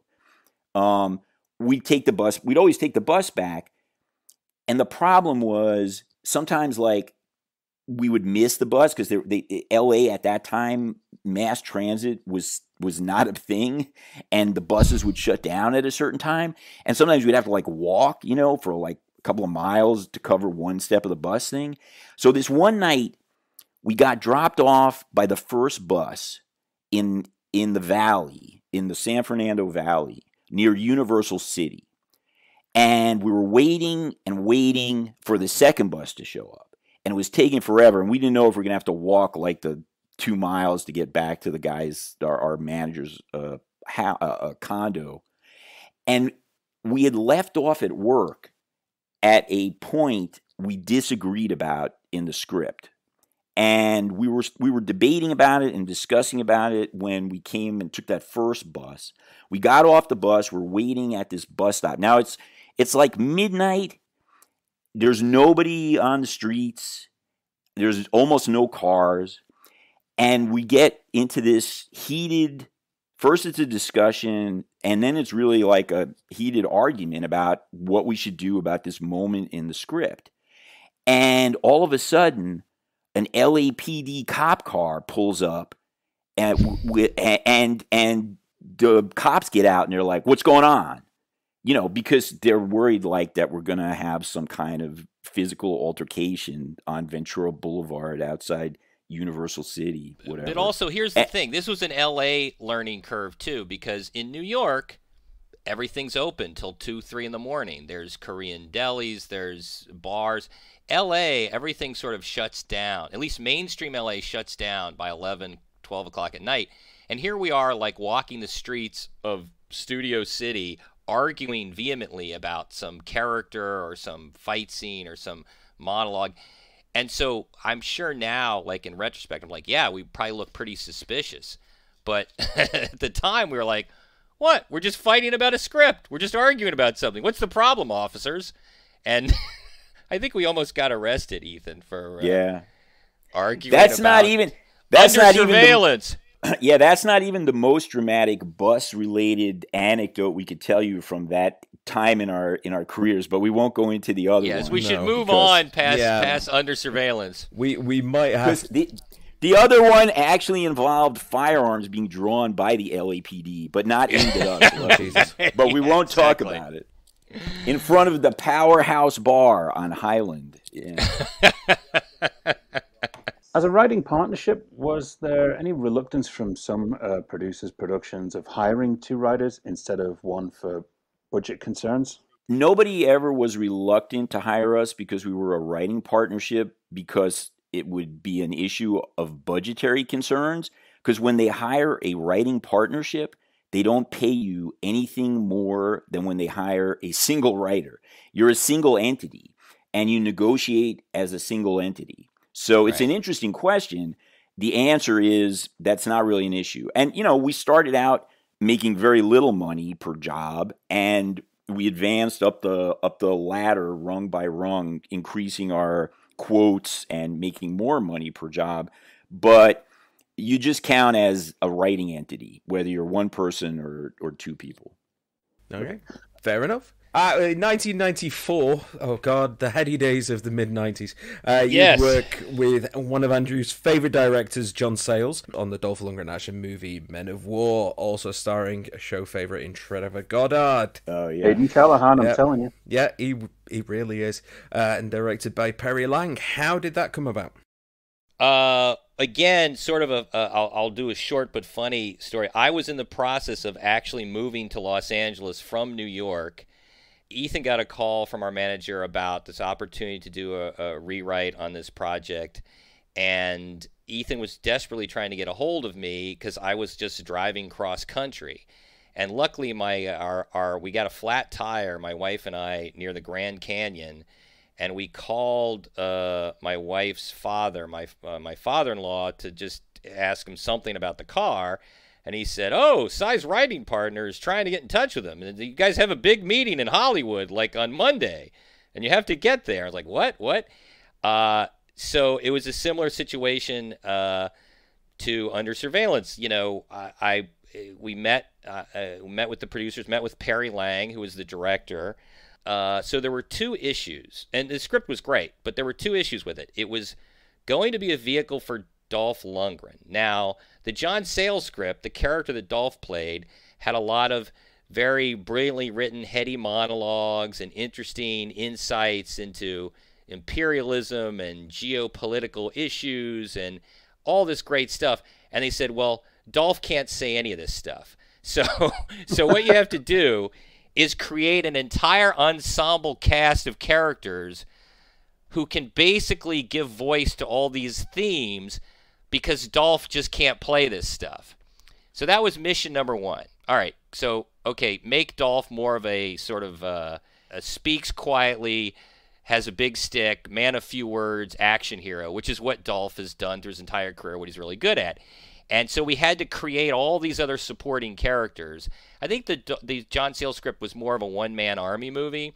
So we created a group of mercenaries to support Dolph's character, and we gave them a lot of the uh, the dialogue and, and some of these monologues and we just we spread the we spread the spread we the spread material. the wealth around, mm. spread the material around. And then the other thing was this was more of a sort of an arty film, and we're making a Dolph Lundgren action movie, so you guys got to put a ton more action into it. So those were the two two paradigms, like create a supporting cast of mercenaries for Dolph, which was actually fun for us because we got to create a bunch of characters for this movie, and then add a shit ton more action. And so those were our sort of uh, our mandates. And the joke is Perry Lang, who I think went on to direct television, who was a former actor, did a really, I think, a really terrific job directing that movie. And uh, it did not get a theatrical in the U.S., but it got picked up by Miramax, and I think got a theatrical through Europe and overseas because we run into a lot of uh, people uh, from Europe who are like huge fans of this movie. And years later, I was at the gym and I ran into Dolph Lundgren. And I said, Hey, Dolph, you don't remember, you're not going to remember me, but my partner and I, Ethan, we worked on Men of War. And he's like, Oh, that's one of my best movies. You guys did a great job. So, uh, you know, even Dolph will say that that's one of his best movies. And ironically, we got to share a screen credit with John Sayles, who's also one of my favorite writer directors. Mm-hmm. Yeah. So, well, John Sayles, I mean, he originally wrote the script, and apparently, from what I hear, he only had action within the third act towards the end. Yes, there was the, there was an action finale. Yes, so we had to add action all through it. And again, Dolph's it was yeah, very think, much like I think John Sayles wrote it as a work for hire. I don't believe it was just you know he's he set out to. He wasn't going to direct I, I it. I don't think, think, it was a spec script or something he was going to make himself. It was just a project that you know when he was still a working screenwriter, or at least that was part of of his portfolio still you know that was a, a gig he had um, and yeah he did a he did a good job but it was very intimidating it, for it was very intimidating for me to be like oh my god we're rewriting john sayles. But again yeah. i think our job was very specific. So we weren't in a situation where we were going to f- up a great john sayles script. We were just taking a john sayles script and adapting it to different needs of the finished movie.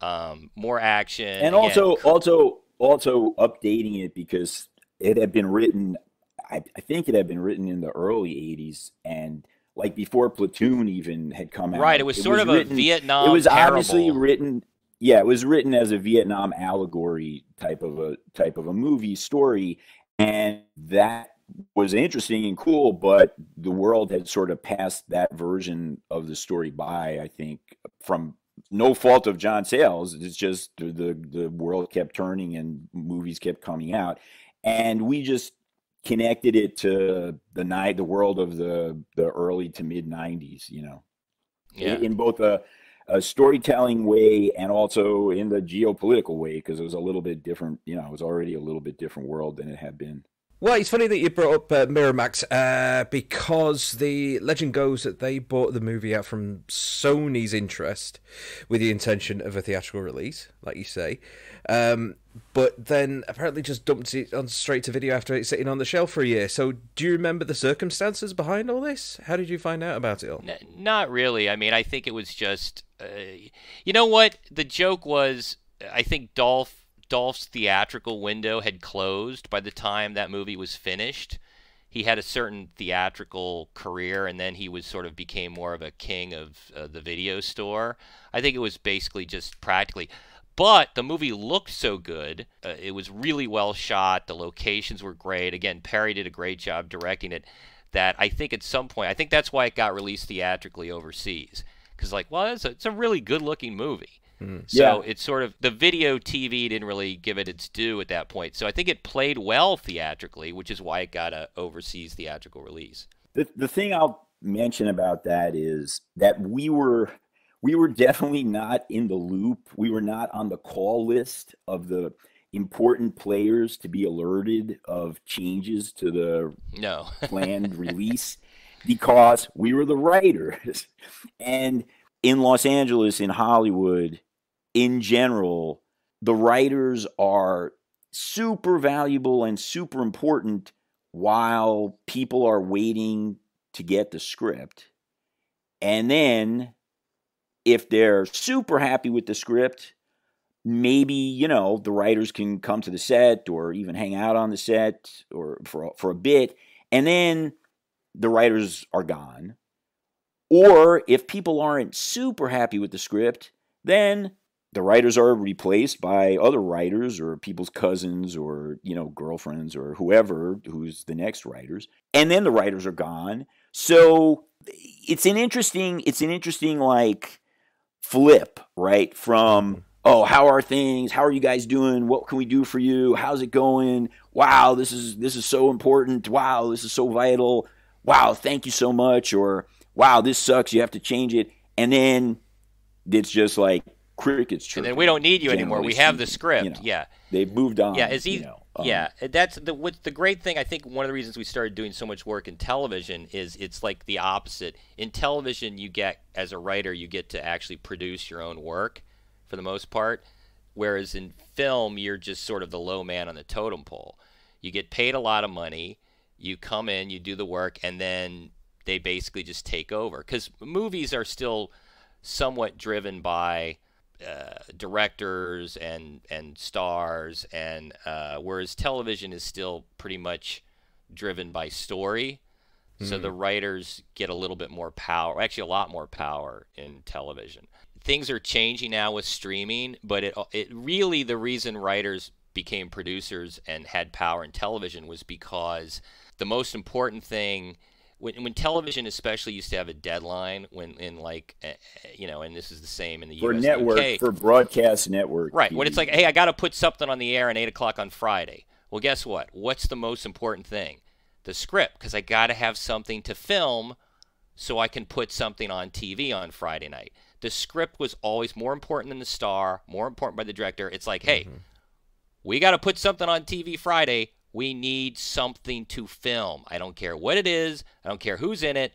I need something to film. which is why in the traditional Hollywood television show hierarchy, the captain of the creative ship, the showrunner, was the writer, the head writer. Yeah, because that was the most important creator. thing. Whereas, As opposed to uh, days, as opposed to with feature films where you know the captain of the creative ship is the director and sometimes a producer director or or or star. sometimes a writer director or whatever but yeah or or a producer star Yeah, if Tom Cruise or Brad Pitt or uh, Leonardo DiCaprio want to make a movie next month, they got a pile of scripts, right? They'll find something to do. Yeah. It's like DiCaprio's like, well, I'm, I want to make it. So the script, i i the script is like, uh, I don't want to downplay it, but I'm saying in the in the hierarchy of that decision making process, it's not the most important thing. DiCaprio's time is the most important thing. Brad Pitt's like, oh, Brad Pitt is a window, three month window. He wants to make something. Okay, well, what is here? We got a pile of things. What is Brad like? In television, it's still it's very different. Also, television is still, no matter how big your home screen is, it's still not as big as in a movie theater. So, again, the stories are still what draw you into television. People talk about a, a show like Game of Thrones that's a massive, huge budgeted show. Nobody watched Game of Thrones for the dragons. They watched Game of Thrones because they got into the characters and they got into the story, into the plot and everything. So it was even the biggest budget TV project, I think, is still very driven by the writing. Well, speaking of TV, that funny enough segues us into uh, the next year, where you'd obviously developed this project of Demon Knight that had been circling Hollywood for a number of years. Now, prior to it becoming uh, a Tales from the Crypt movie, had you gotten kind of uh, serious interest as a movie before that? We had from the straight from the get go, from the moment that we finished writing the spec script, which was totally original, of Demon Knight with a K, it was always under option. There was always interest. There were always, in the beginning, because we were nobodies with no track record, no credits, it was a free option, but it was still an option. And it was constantly trying to be made by different producers and different production companies with different directors being attached over the course of those intervening seven years between when we first wrote it and when it finally got made as the first modern Tales from the Crypt it, movie. It got close to getting made twice. At first time, it almost got made by Tom Holland, who had done Fright Night and Child's Play, and this was going to be a follow up to Child's Play. Um, and we had done some rewrites for Tom Holland, and then that fell apart. And then uh, a few years later, it almost got made by Mary Lambert, who had just done Pet Sematary and then it wound its way to the Tales from the Crypt people. Tales from the Crypt was a successful television show, and they were trying to branch it out into a uh, series of feature films, and Universal was the studio. And what happened is they had two scripts already that had been developed by the Tales from the Crypt TV people, and they had a third slot, and they were actually trying to negotiate to get uh, Quentin Tarantino's Dusk Till Dawn when it was still a screenplay as the third of the Tales from the Crypt movies. And then Tarantino blew up. Uh, I think Pulp Fiction opened, and suddenly he wanted too much money, and they couldn't close that deal. And somehow Demon Knight had been sort of lying around the offices at Silver Pictures. Uh, the Tales television show was sort of a joint uh, had a bunch of big Hollywood producers on it. It was Joel Silver, Bob Zemeckis, Walter Hill, Richard Donner, and somebody suggested, well, there's a script Demon Knight that's been circulating. And uh, what, what we heard was that it was the, it's not that anybody loved Demon Knight at Tales from the Crypt, it was that it was the only script that all these big producers could agree on. Like hmm. everything else they had submitted, like, you know, oh, Donner loves it, but Joel Silver hates it. Uh, Walter Hill loves it, but Bob Zemeckis hates it. So Demon Knight was sort of like the compromise. And it was the third of three features. So it's like, eh, by the time we get to this movie, eh, maybe we can come up with something better if we, if we want if we find something better. They sent all three scripts to Universal, and suddenly Ethan and I get a call like the week later and say, "Oh, guess what? We sent all these scripts to Universal, and the one they really want to make first, the one they really like, is Demon Knight." Yeah, we, we went from we went from last to first in a in a matter of uh, days, which was a tremendously awesome surprise, you know, for us, obviously. Yeah, I bet it was. Yeah, well, mentioning there Joel Silver, and he's a favorite on the show when we had Richard Mirisch, who worked with Joel Silver. We've had many people who shared, you know, stories about the man. Now, obviously, knowing the reputation that he had in Hollywood, and obviously he's been parodied in movies as well. Uh, were you kind of both nervous about meeting the man over Demon Knight? No, no. In fact, Ethan has the the great Demon Knight Joel Silver story. Ethan, you should tell it. Tell the. Well, yeah, I don't think we weren't we weren't nervous about it. We were just excited. I think we were too excited, not about meeting him, just about our project actually moving forward with a major studio producing it. And what had happened, the story Cy is referring to is the title Demon Knight had been changed by the, the development people at Silver who had first gotten it from us and tried to find somebody to make it with them in the early days before Tales from the Crypt became uh, part of the story. And they well, what the word was de- demons. Yeah, demons don't sell. You can't put demon in the title of movie. De- nobody likes demons. demons don't sell. Demon is because if you remember poison the 90s the, the mid 90s was a, a, sort of like a lull in feature horror filmmaking mm. the hmm. only yeah, horror yeah. films that were being made were being made by low budget largely straight to video companies and it had sort of disappeared off the studio radar. So no, they didn't want. They, they they felt like, oh, this is a really good script. It's a really good story. We have a chance to find a way to make this. But by putting Demon in, on the cover page, you're cutting your odds by like fifty percent. So we got to replace it. Oh, the title had been changed to Judgment Night, and then about a year after that, there was a, a, Emilio's a movie. yeah Yes, Emilio yes. Movie came out called Judgment Night. Called Judgment Night. So it's like, well, we can't use that title anymore. We were at the Silver Pictures uh, offices at Warner Brothers Studios. Joel Silver came in and he was sort of like marching through the hallway into his office and he said like you know that we should we should like come in because he had a he had something to talk to us about or whatever. And we honestly i think that was the first time that we were going to have a i mean we'd met him before but more in passing at the offices for like oh congratulations that's great and you know blow past us whatever. Um when the movie got greenlit but this was the first time we ever had an actual meeting with him. And we didn't exactly, we had no idea what it was going to be about.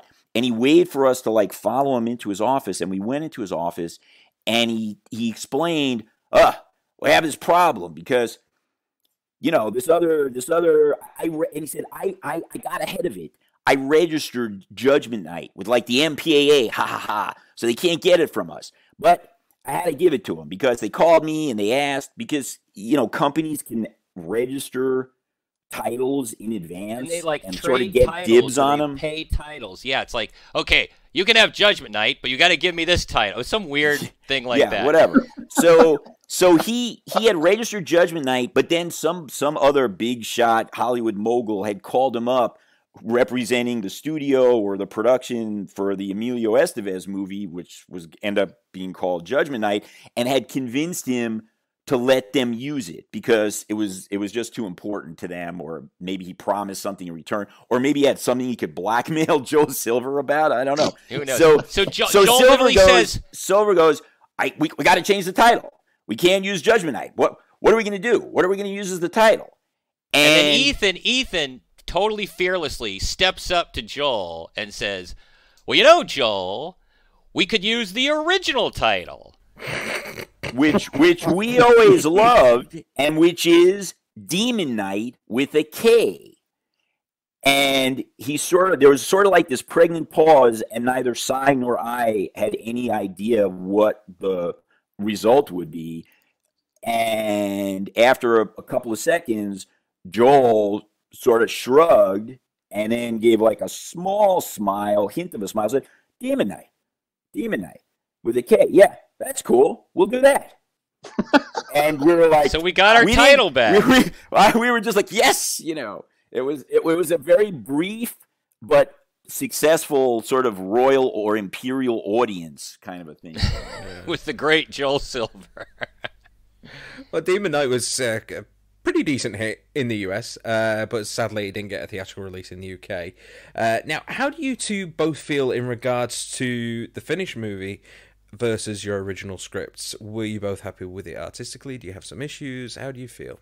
Well, I think for the most part, I think a Demon Knight turned out really well, and ironically, it's like it's the movie we get asked about a lot now. It's sort of become, for a lot of reasons, I think partially what Ethan said. There's a sort of dearth of good horror movies in the early '90s. Um, so it's it's become a real cult favorite. I I think it's really good. We still have a few, you know, we still have a few bugaboos or things that uh, that I think were not.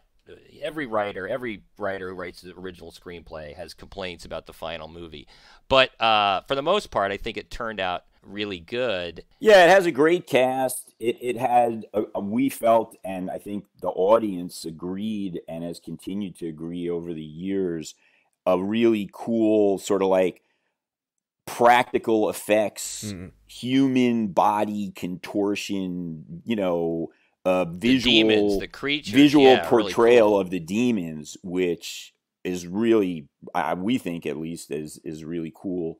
There are, like Cy alluded to, there are there are certain issues that we had at the time. We actually got fired off the movie by the guys who were the hands-on creative producers. Uh, there are issues that that we had. some of those were actually resolved because when they first finished their version and did a test audience release, the movie did well until the ending, which they had changed against our uh, uh, strongly expressed wishes. And the sort of air went out you could feel in the audience with the test screening the air go out of the balloon in the sort of third act finale of the movie. And they actually went back and reshot the ending. Now, the reshot ending that's in the movie is not exactly what we had originally written because unfortunately they had struck the sets. So they couldn't, it would have cost them too much to rebuild everything from scratch and shoot it exactly the way it, it, it had been before the final changes they made. But they did some version of, of rebuilding stuff and they went back and the ending is still largely it, it, it, it contains the essence the sort of creative essence of what we had written so it was ending, much yeah. much better than the interim ending which which they had replaced uh, our ending with so yeah we both really like the movie we both are very happy that it's lived on you know like Cy said of all the stuff we've worked on there are more devoted fans of Demon Knight um, than than anything else, probably. Well, as we said here, uh, the Crypt, it was originally planned as a trilogy of crypt movies. Uh, were you guys ever approached to contribute to the uh, other movies following the success of Demon Knight, or was that just it?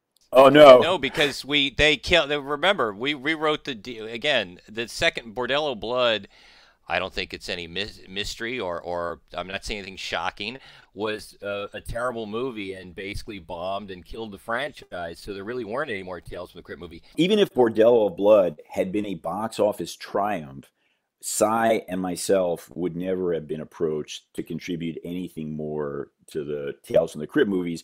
We got fired off of Demon Knight, and we were the outsiders. We were the guys who had written a spec action horror movie that got picked up into and plugged into the Tales from the Crypt machinery. But the guys who were the hands on captains of that ship, who were a writing producing team that had run the TV show on HBO for several years, they were very unhappy with our script being made first as opposed to the scripts that they had written and planned to direct. And they were not happy with our presence being around. And they also did bordello blood. So um, uh-huh. no, so, we, we, had so no further involvement. We, we got to visit the set one day for Demon Knight. That was the extent of our involvement we wait we, we got to go to the audience test screening where their remade reimagined ending failed Bomb. catastrophically, yeah. Hmm. which was a lot of fun, even though it was painful. it was like watching your own child fail miserably when your ex-wife was in charge of their education. Then, what a great, and then, horrifying but great analogy. Yeah.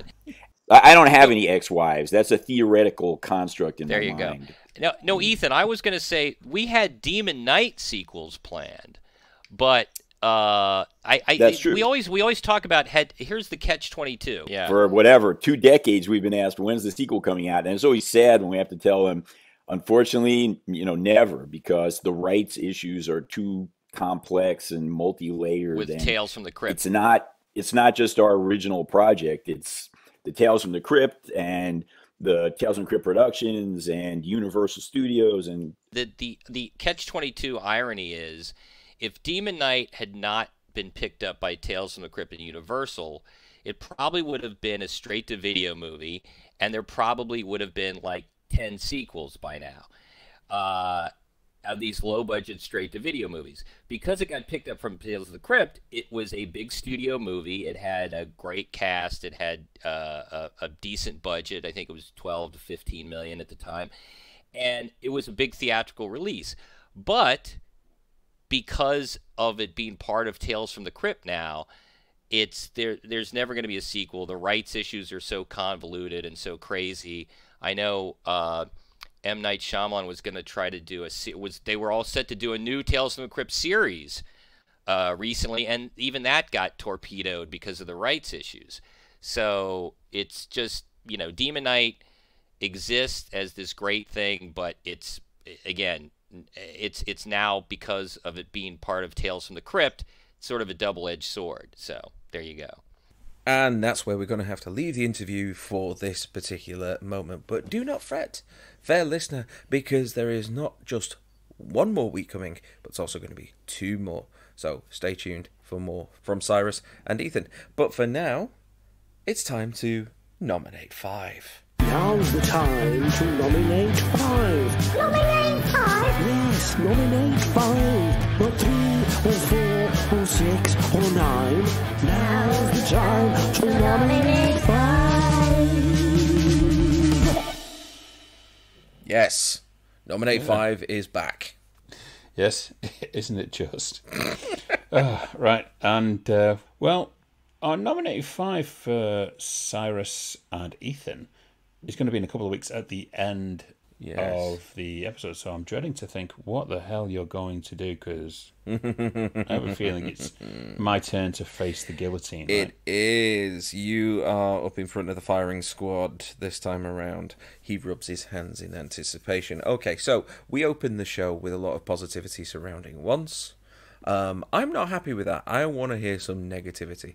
So, Oh no, yes, no, Andy, I want you to nominate your five most disliked movies ah. and why. Oh god. It may seem obvious, but come on. We we usually go, oh, this is the one movie that inspired me. This is the one film which you know made me want to become an actor or director. No, I want to know what makes you go, ugh. the the five films that made me hate the business. Yeah. Okay. Um. All right. I guess I can do that. And I've got to send out apologies to anyone who's listening who may have worked on these movies. Um. But for me, they were just uh, they were just too much. Yeah. Okay. I mean, just look at Josh Brolin, Jonah Hex, and then Josh Brolin, uh, Infinity War. Oh, You know. shit. Yeah. Really good actor, but sometimes you got to work with what you got, and sometimes what you've got ain't good. Well, I'll, I'll just throw them out there because this has really been lumped on me. So, okay. So I guess what? Number five. Number five. Okay. Um, we've not shown this movie a lot of love in the past. We have mentioned this before. Uh, it's going to be funny because most of these are installments of franchises. And usually franchises are a sore point for me because I'll, I'll like the original and I'll always question whether they needed a sequel. Uh, this was something that never needed to happen, and I don't think a lot of people would disagree. For number five, I am going to choose A Good Day to Die Hard. Oh yes. Right. And this Yes. is this is no disrespect to uh, the Irish director John Moore, because John Moore gave us Max Payne, which people are on the shelf about, but I really liked. Uh, he did a pretty decent remake of Flight of the Phoenix. Uh, he did an, an okay remake of The Omen that didn't really need to be remade apart from a marketing thing. And the movie Behind Enemy Lines that he did with Gene Hackman and Owen Wilson was pretty good as well. You know, and he is really talented. He's got this great look for his movies. But I cannot understand why the hell A Good Day to Die Hard was made. And I think this was the point where it was the nail in the coffin for John McClane's character. Yeah, this is the one where you can just see Bruce Willis just he he just does not care throughout the whole thing. And I know he's he's going through a rough patch at the moment. I, I don't know if this might have been kind of like the beginnings of that because after this it was kind of around about that time that he started to shift over to more to those direct to uh, DVD affairs. But he just does not give a damn. Yeah, well, he was doing those direct to DVD movies prior to coming back for Good Day to Die Hard. And I saw this on a plane, which is not a good way to watch a movie in any way, shape, or form. It's it's just so weak. It was so weak, and it was, I guess you could say, uninspiring. Yeah. It it's short. The plot doesn't make much sense. The the motivations behind the characters don't make much sense. The twist reveal doesn't make any sense. Nothing makes any sense. and it's an hour and a half long. Yeah, it's the shortest of the Die Hard movies by a long way. But I have a theory that this actually was not made as a Die Hard movie. Well, actually, as far as I'm aware, this is the first Die Hard movie that was actually written as a Die Hard movie. Really? Yeah, because Oh you had God, the first one was uh, based on a book by Roderick Thorp, Yes. Um, Uh, then- Glass Tower or something like that. uh, something like that.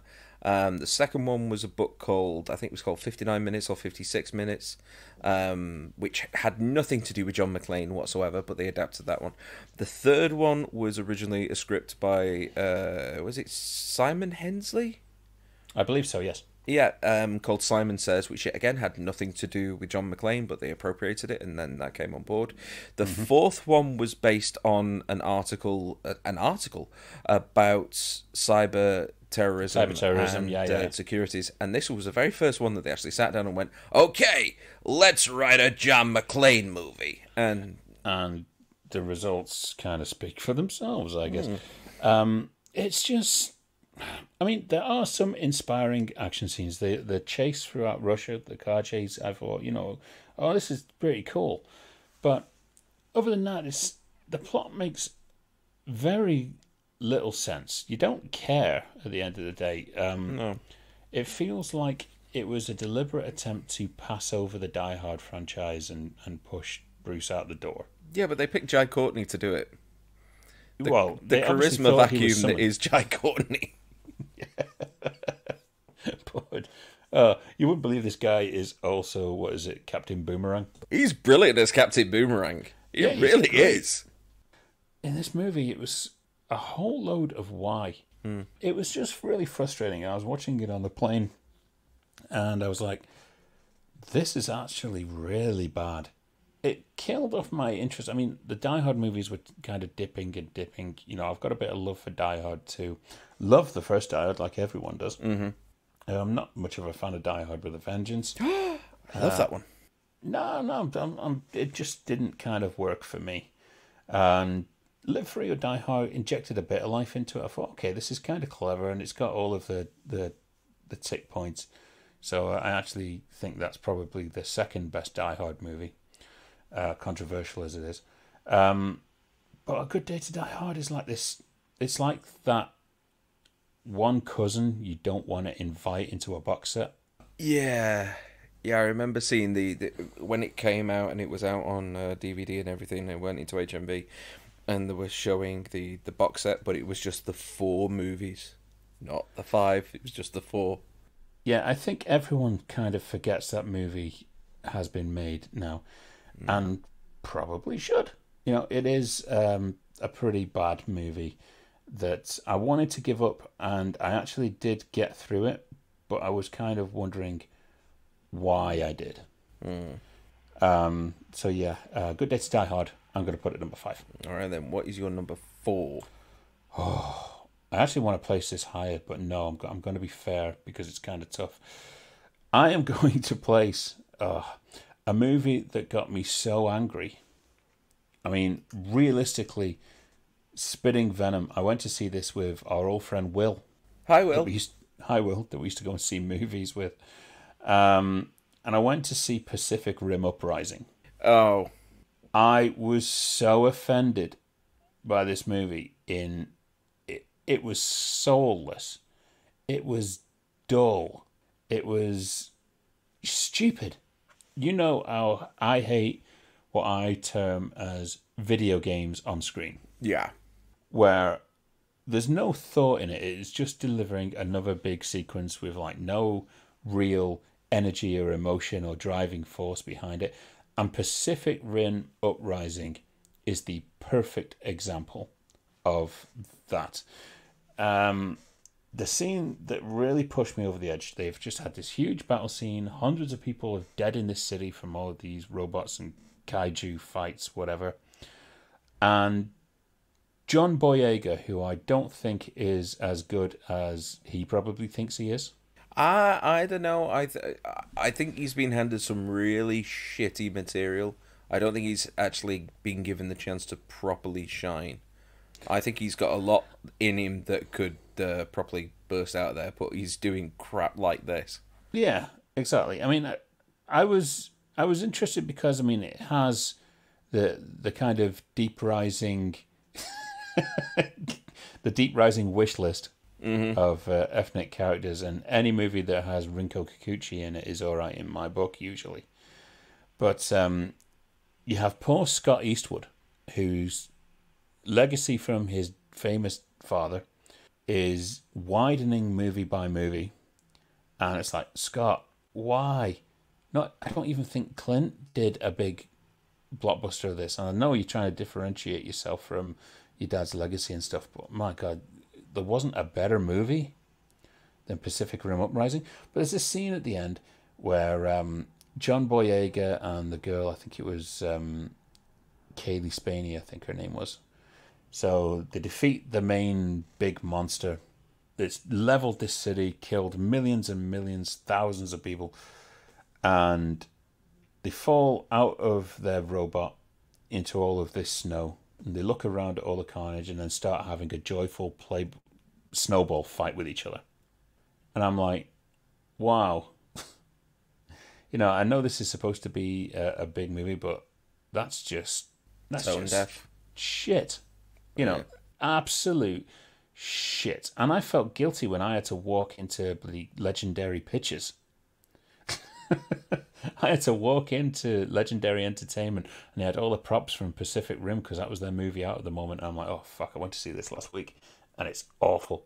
And if it wasn't for the fact that the person I was meeting there said, yeah, this film wasn't very good, I was like, oh, thank God for that. you, and you work here, you know. so it was directed by um, a guy called Steven S. DeKnight, and he's a producer and writer, and you know he, he was responsible for directing Pacific Rim, but he was also a producer on the Daredevil series. He was a producer on Jupiter's Legacy, which some people say got cancelled way too early.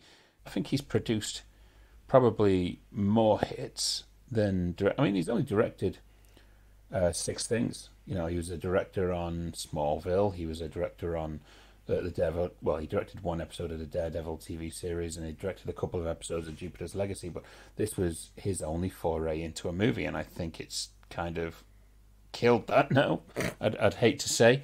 Um, you know, he's talented. He does a lot of huge, big blockbuster stuff. But you know, this movie was so offensive, and I was trapped because I had to kill the time until Ready Player One started. So I was like, oh, I've got enough time to go and watch this movie first. But yeah, uh, Pacific Rim Uprising should be placed higher, but on this occasion, there were other movies that were worse. Oh, I can't wait to see what they are. Uh, all right then. So, what is number three? Numero tres. Okay, I, I crib about this movie quite a lot, and uh, it became a really good running joke between me and Bill Daly. But I am actually going to say Jonah Hex is my number three. yeah, I brought it up at the beginning and didn't even realise. Okay, wax lyrical Yes. about this cinematic car crash. Go on. Okay, if ever a movie has been uh, a a what the f- in terms of everything, I, I don't understand how a movie with such an amazing cast, and there was a great cast involved with it, can result in a movie that gets cut down to 80 minutes. This felt like a film that they'd already given up on.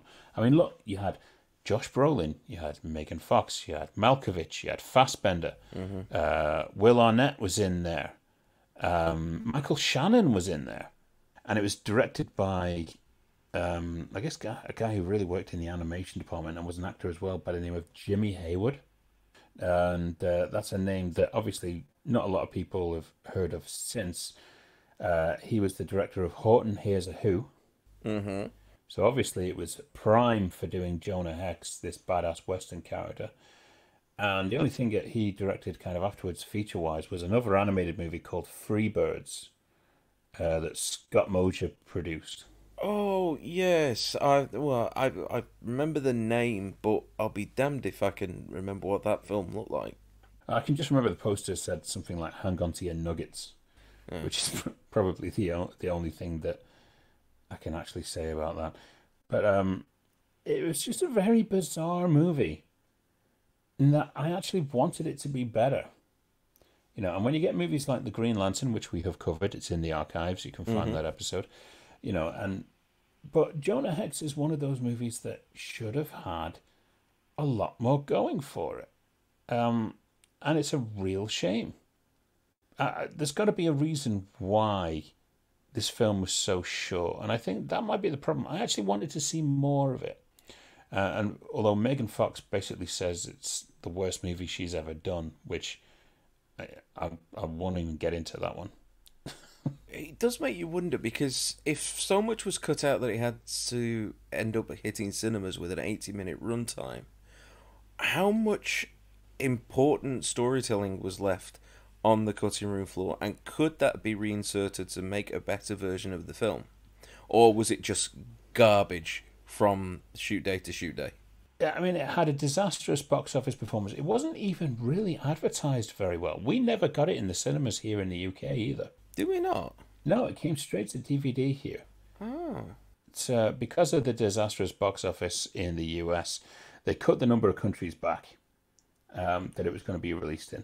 The the stupid thing is they released this movie on the same day as Toy Story three, Mm. which it had no chance.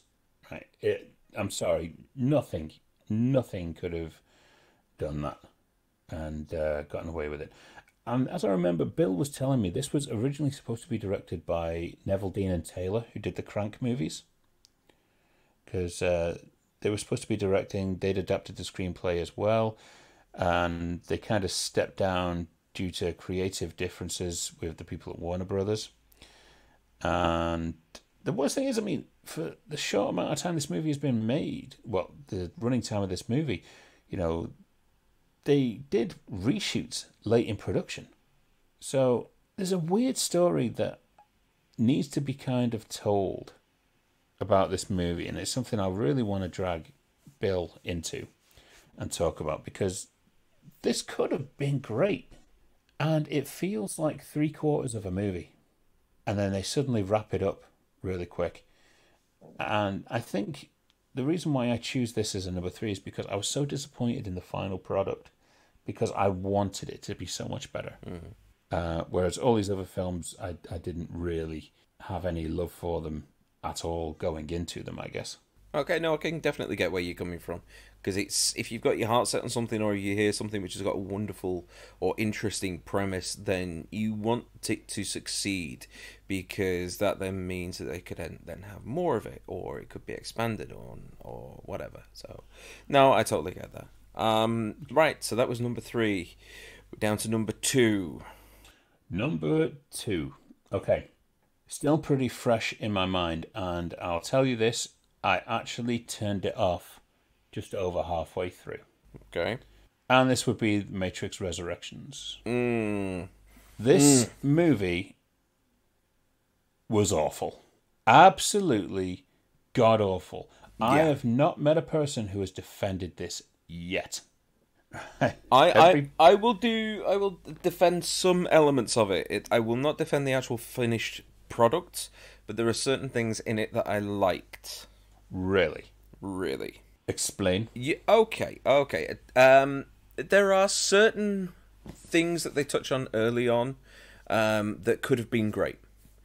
Uh, You know, maybe the the idea of uh, uh, Anderson, Neo back in the Matrix, and he's then creating like his own Matrix within the Matrix.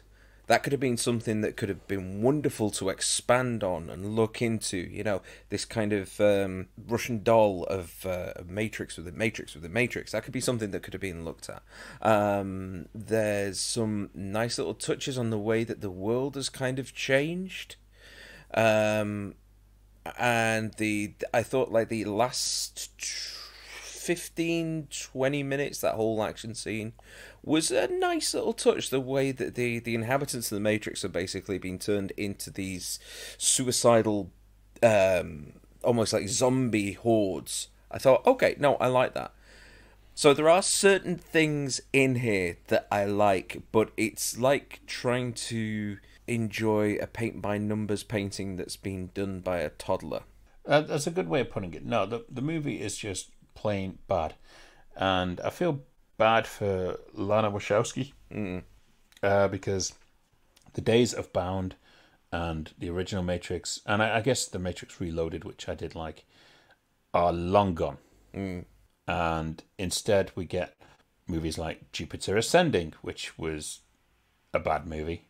But, you know, at times they can do groundbreaking movies. I love Cloud Atlas. You know, I, I do think that they have a very visual eye, the Wachowskis. Mm-hmm. But this movie, it killed the cash cow and it feels like it was deliberate. Yeah, I think I, I said that to you recently. It, it feels like because Warner Brothers were going to go ahead and make the movie regardless of if the Wachowskis were involved or not. That Lana took that as an affront and just basically went, you know what? Fuck you. You're not doing anything with our little baby unless we say you are. So I'm going to go out of my way and sabotage this to make sure that you don't make anything else in the future. Yeah. Uh, and to be honest, uh, the movie, I never finished it. I turned it off um, at the 90 minute mark. I was like, I can't do this. I, I just can't get through it anymore. I am bored, rigid. I'm disappointed, and this is just absolutely shocking. So I, I didn't want to go for that extra hour. It's an extra hour of my life I knew I was never going to get back. And it takes a lot for me to actually either walk out of a movie or turn one off. But I'm doing it more and more nowadays, so I think I'm turning into a real grouchy bastard when it comes to movies that are coming out now. Uh, I almost turned the new Scream movie off for kind of the same reasons. It was like, you know what? You're just making me feel foolish for actually liking the originals. Yeah. And Wes Craven, I feel, would not have been on board with what happened to Scream now. I mean, it had some things, but it just felt weak. And this was weak. It was a weak movie, and um, yeah, that's my number two. Yeah, there was there was a lot in it that that, that was just like so heavy-handed. It lacked any of the elegance and subtlety that the the Matrix films had. It we did oh, so much of the meta commentary, particularly at the beginning, was almost cringeworthy and and just just appalling to sit through. But yeah, I actually, I went to the cinema with a few friends on opening day, and I don't think anyone, any one of us, can actually just go, yeah, I like that movie. Yeah. Yeah.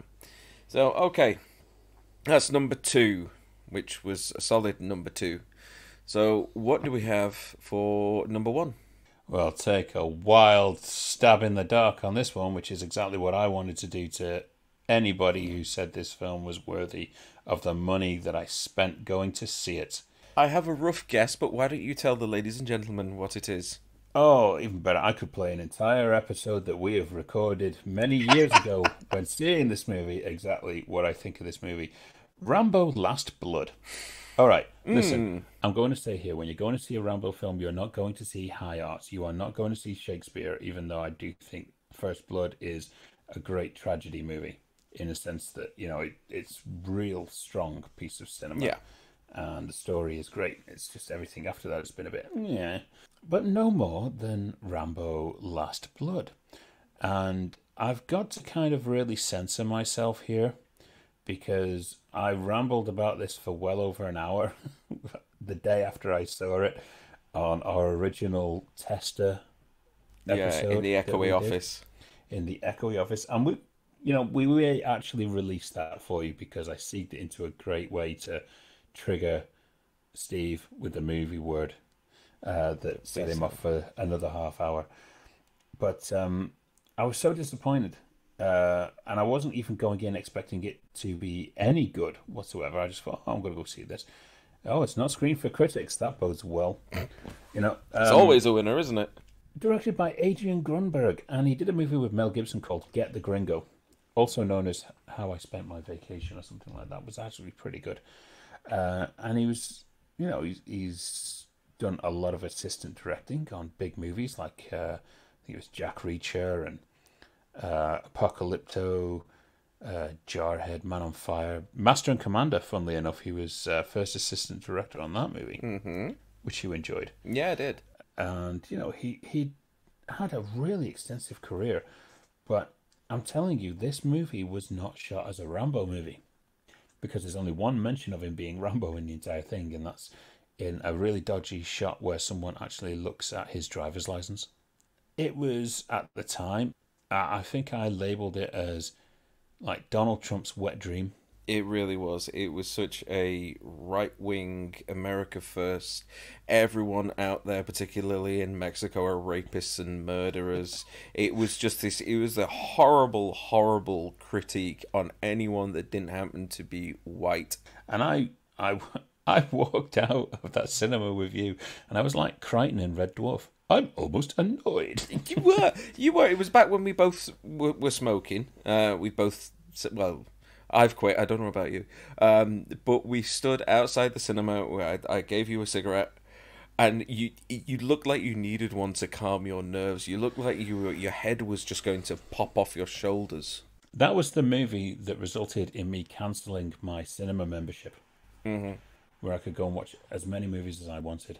And it's a shame because I was going to go and watch Ad Astra, but it made it pissed me off that much that I was like, I don't want to go to the cinema ever again. It was like I just felt like every bit of taste that could possibly happen in cinema was not to be found in this movie, and I've never watched it again. I never want to see it again. I never want to acknowledge it exists, like pretty much every other person who was a Rambo fan, I guess. It feels like it's missing huge chunks of the film as well, though, doesn't it? It didn't make sense at all. No. It's like having the Mexican cartel that can, funnily enough, get into America really well with like 11 black vans. SUVs, yeah. yeah, SUVs. The whole story is about criminals coming over the border, and you've just let 11 SUVs packed with machine guns and everything through.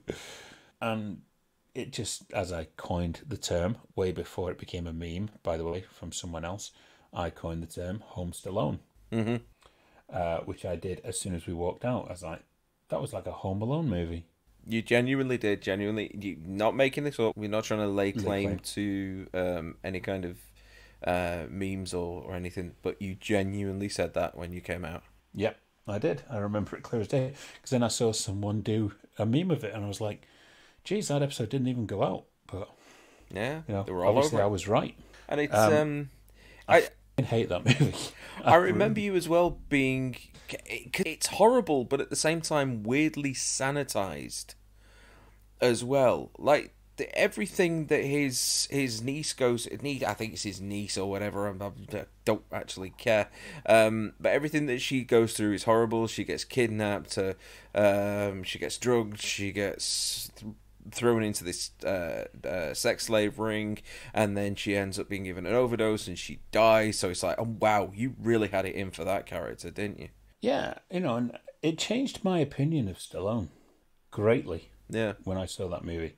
Because I was like, how could you put your name to this? Either you're really stupid or you really honestly believe that. You, you don't have any positive Mexican characters in this movie. Actually, the only the only positive character that is in this movie is the maid.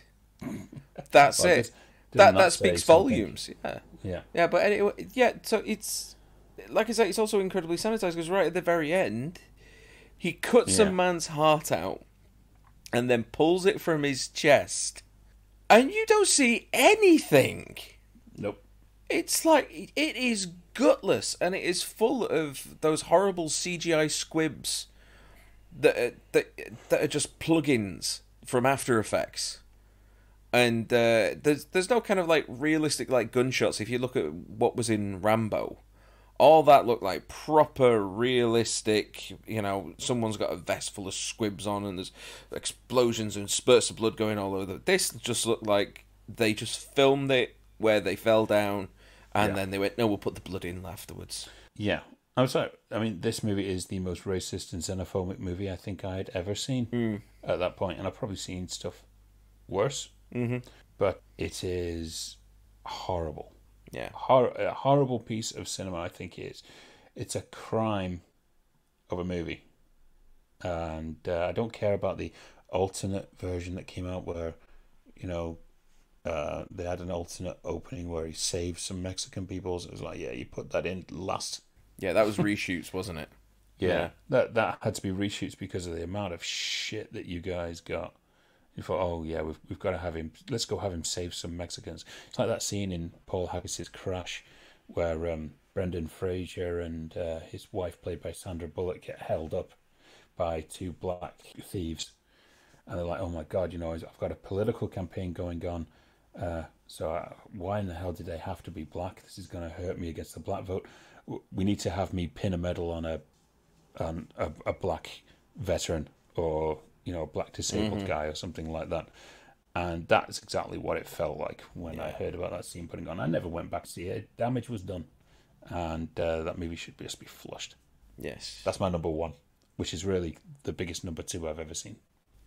Well, there's a lot there that I can agree with you with. Um, a lot of them I've seen as well, and uh, yeah, there's there's a lot of stinkers on that list. So if you've been listening to this and you've been feeling uh, a little bit brought down by it all, I'm sorry. Go back and watch once. That'll that'll cure everything. Yeah, or you could just do whatever comes from what's in the box next. What's in the box? What's in the box? What's in the box? What's in the box? Oh yeah! Rambo. Yeah, I can't believe you just dragged me down with that. You've really got to come up with something so much better for next time. Yeah, well, I'm under the uh, the chopping block next time, though, aren't I? Oh, very true. Very Oh, true. so yeah, you're gonna get your pull out. revenge. I will. I will. I might get my revenge now because it's what's in the box. And what's in the box, Steve? It's usually when Andy has to pull out the name of a film that he certified fresh on Rotten Tomatoes out of a box, and if I haven't seen it, then I have to go away and watch it the day before we record our next episode. But if I have seen it, then we keep pulling out names of films until we find one that I haven't. That's that sounds about right. That's about right, yeah. Okay. So, Steve, are you ready for your what's in the box?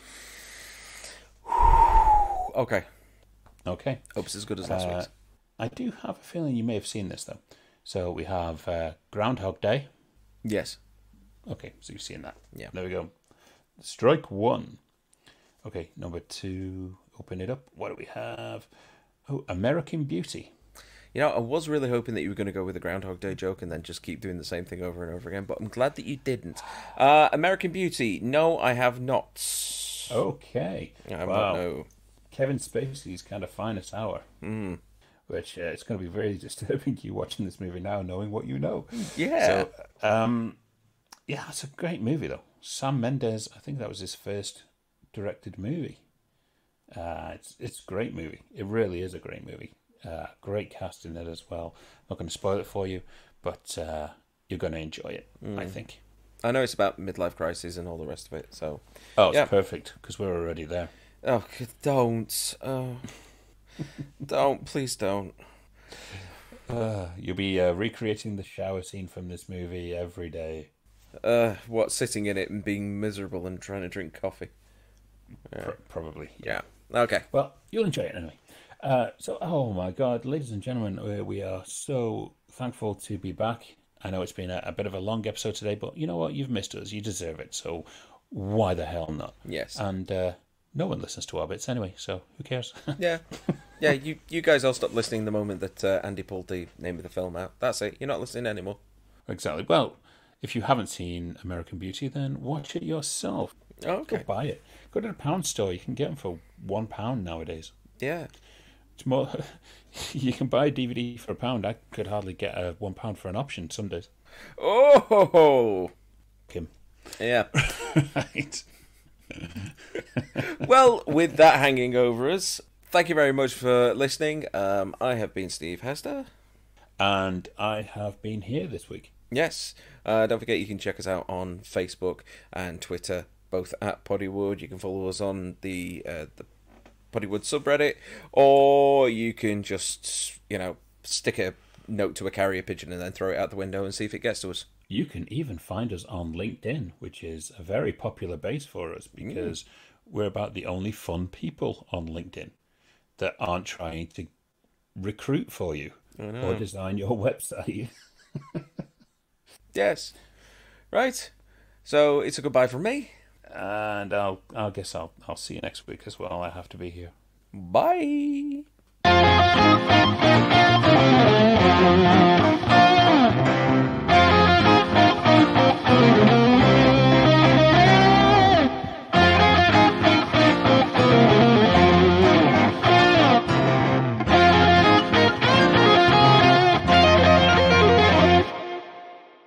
put your hands in the cheese casserole again.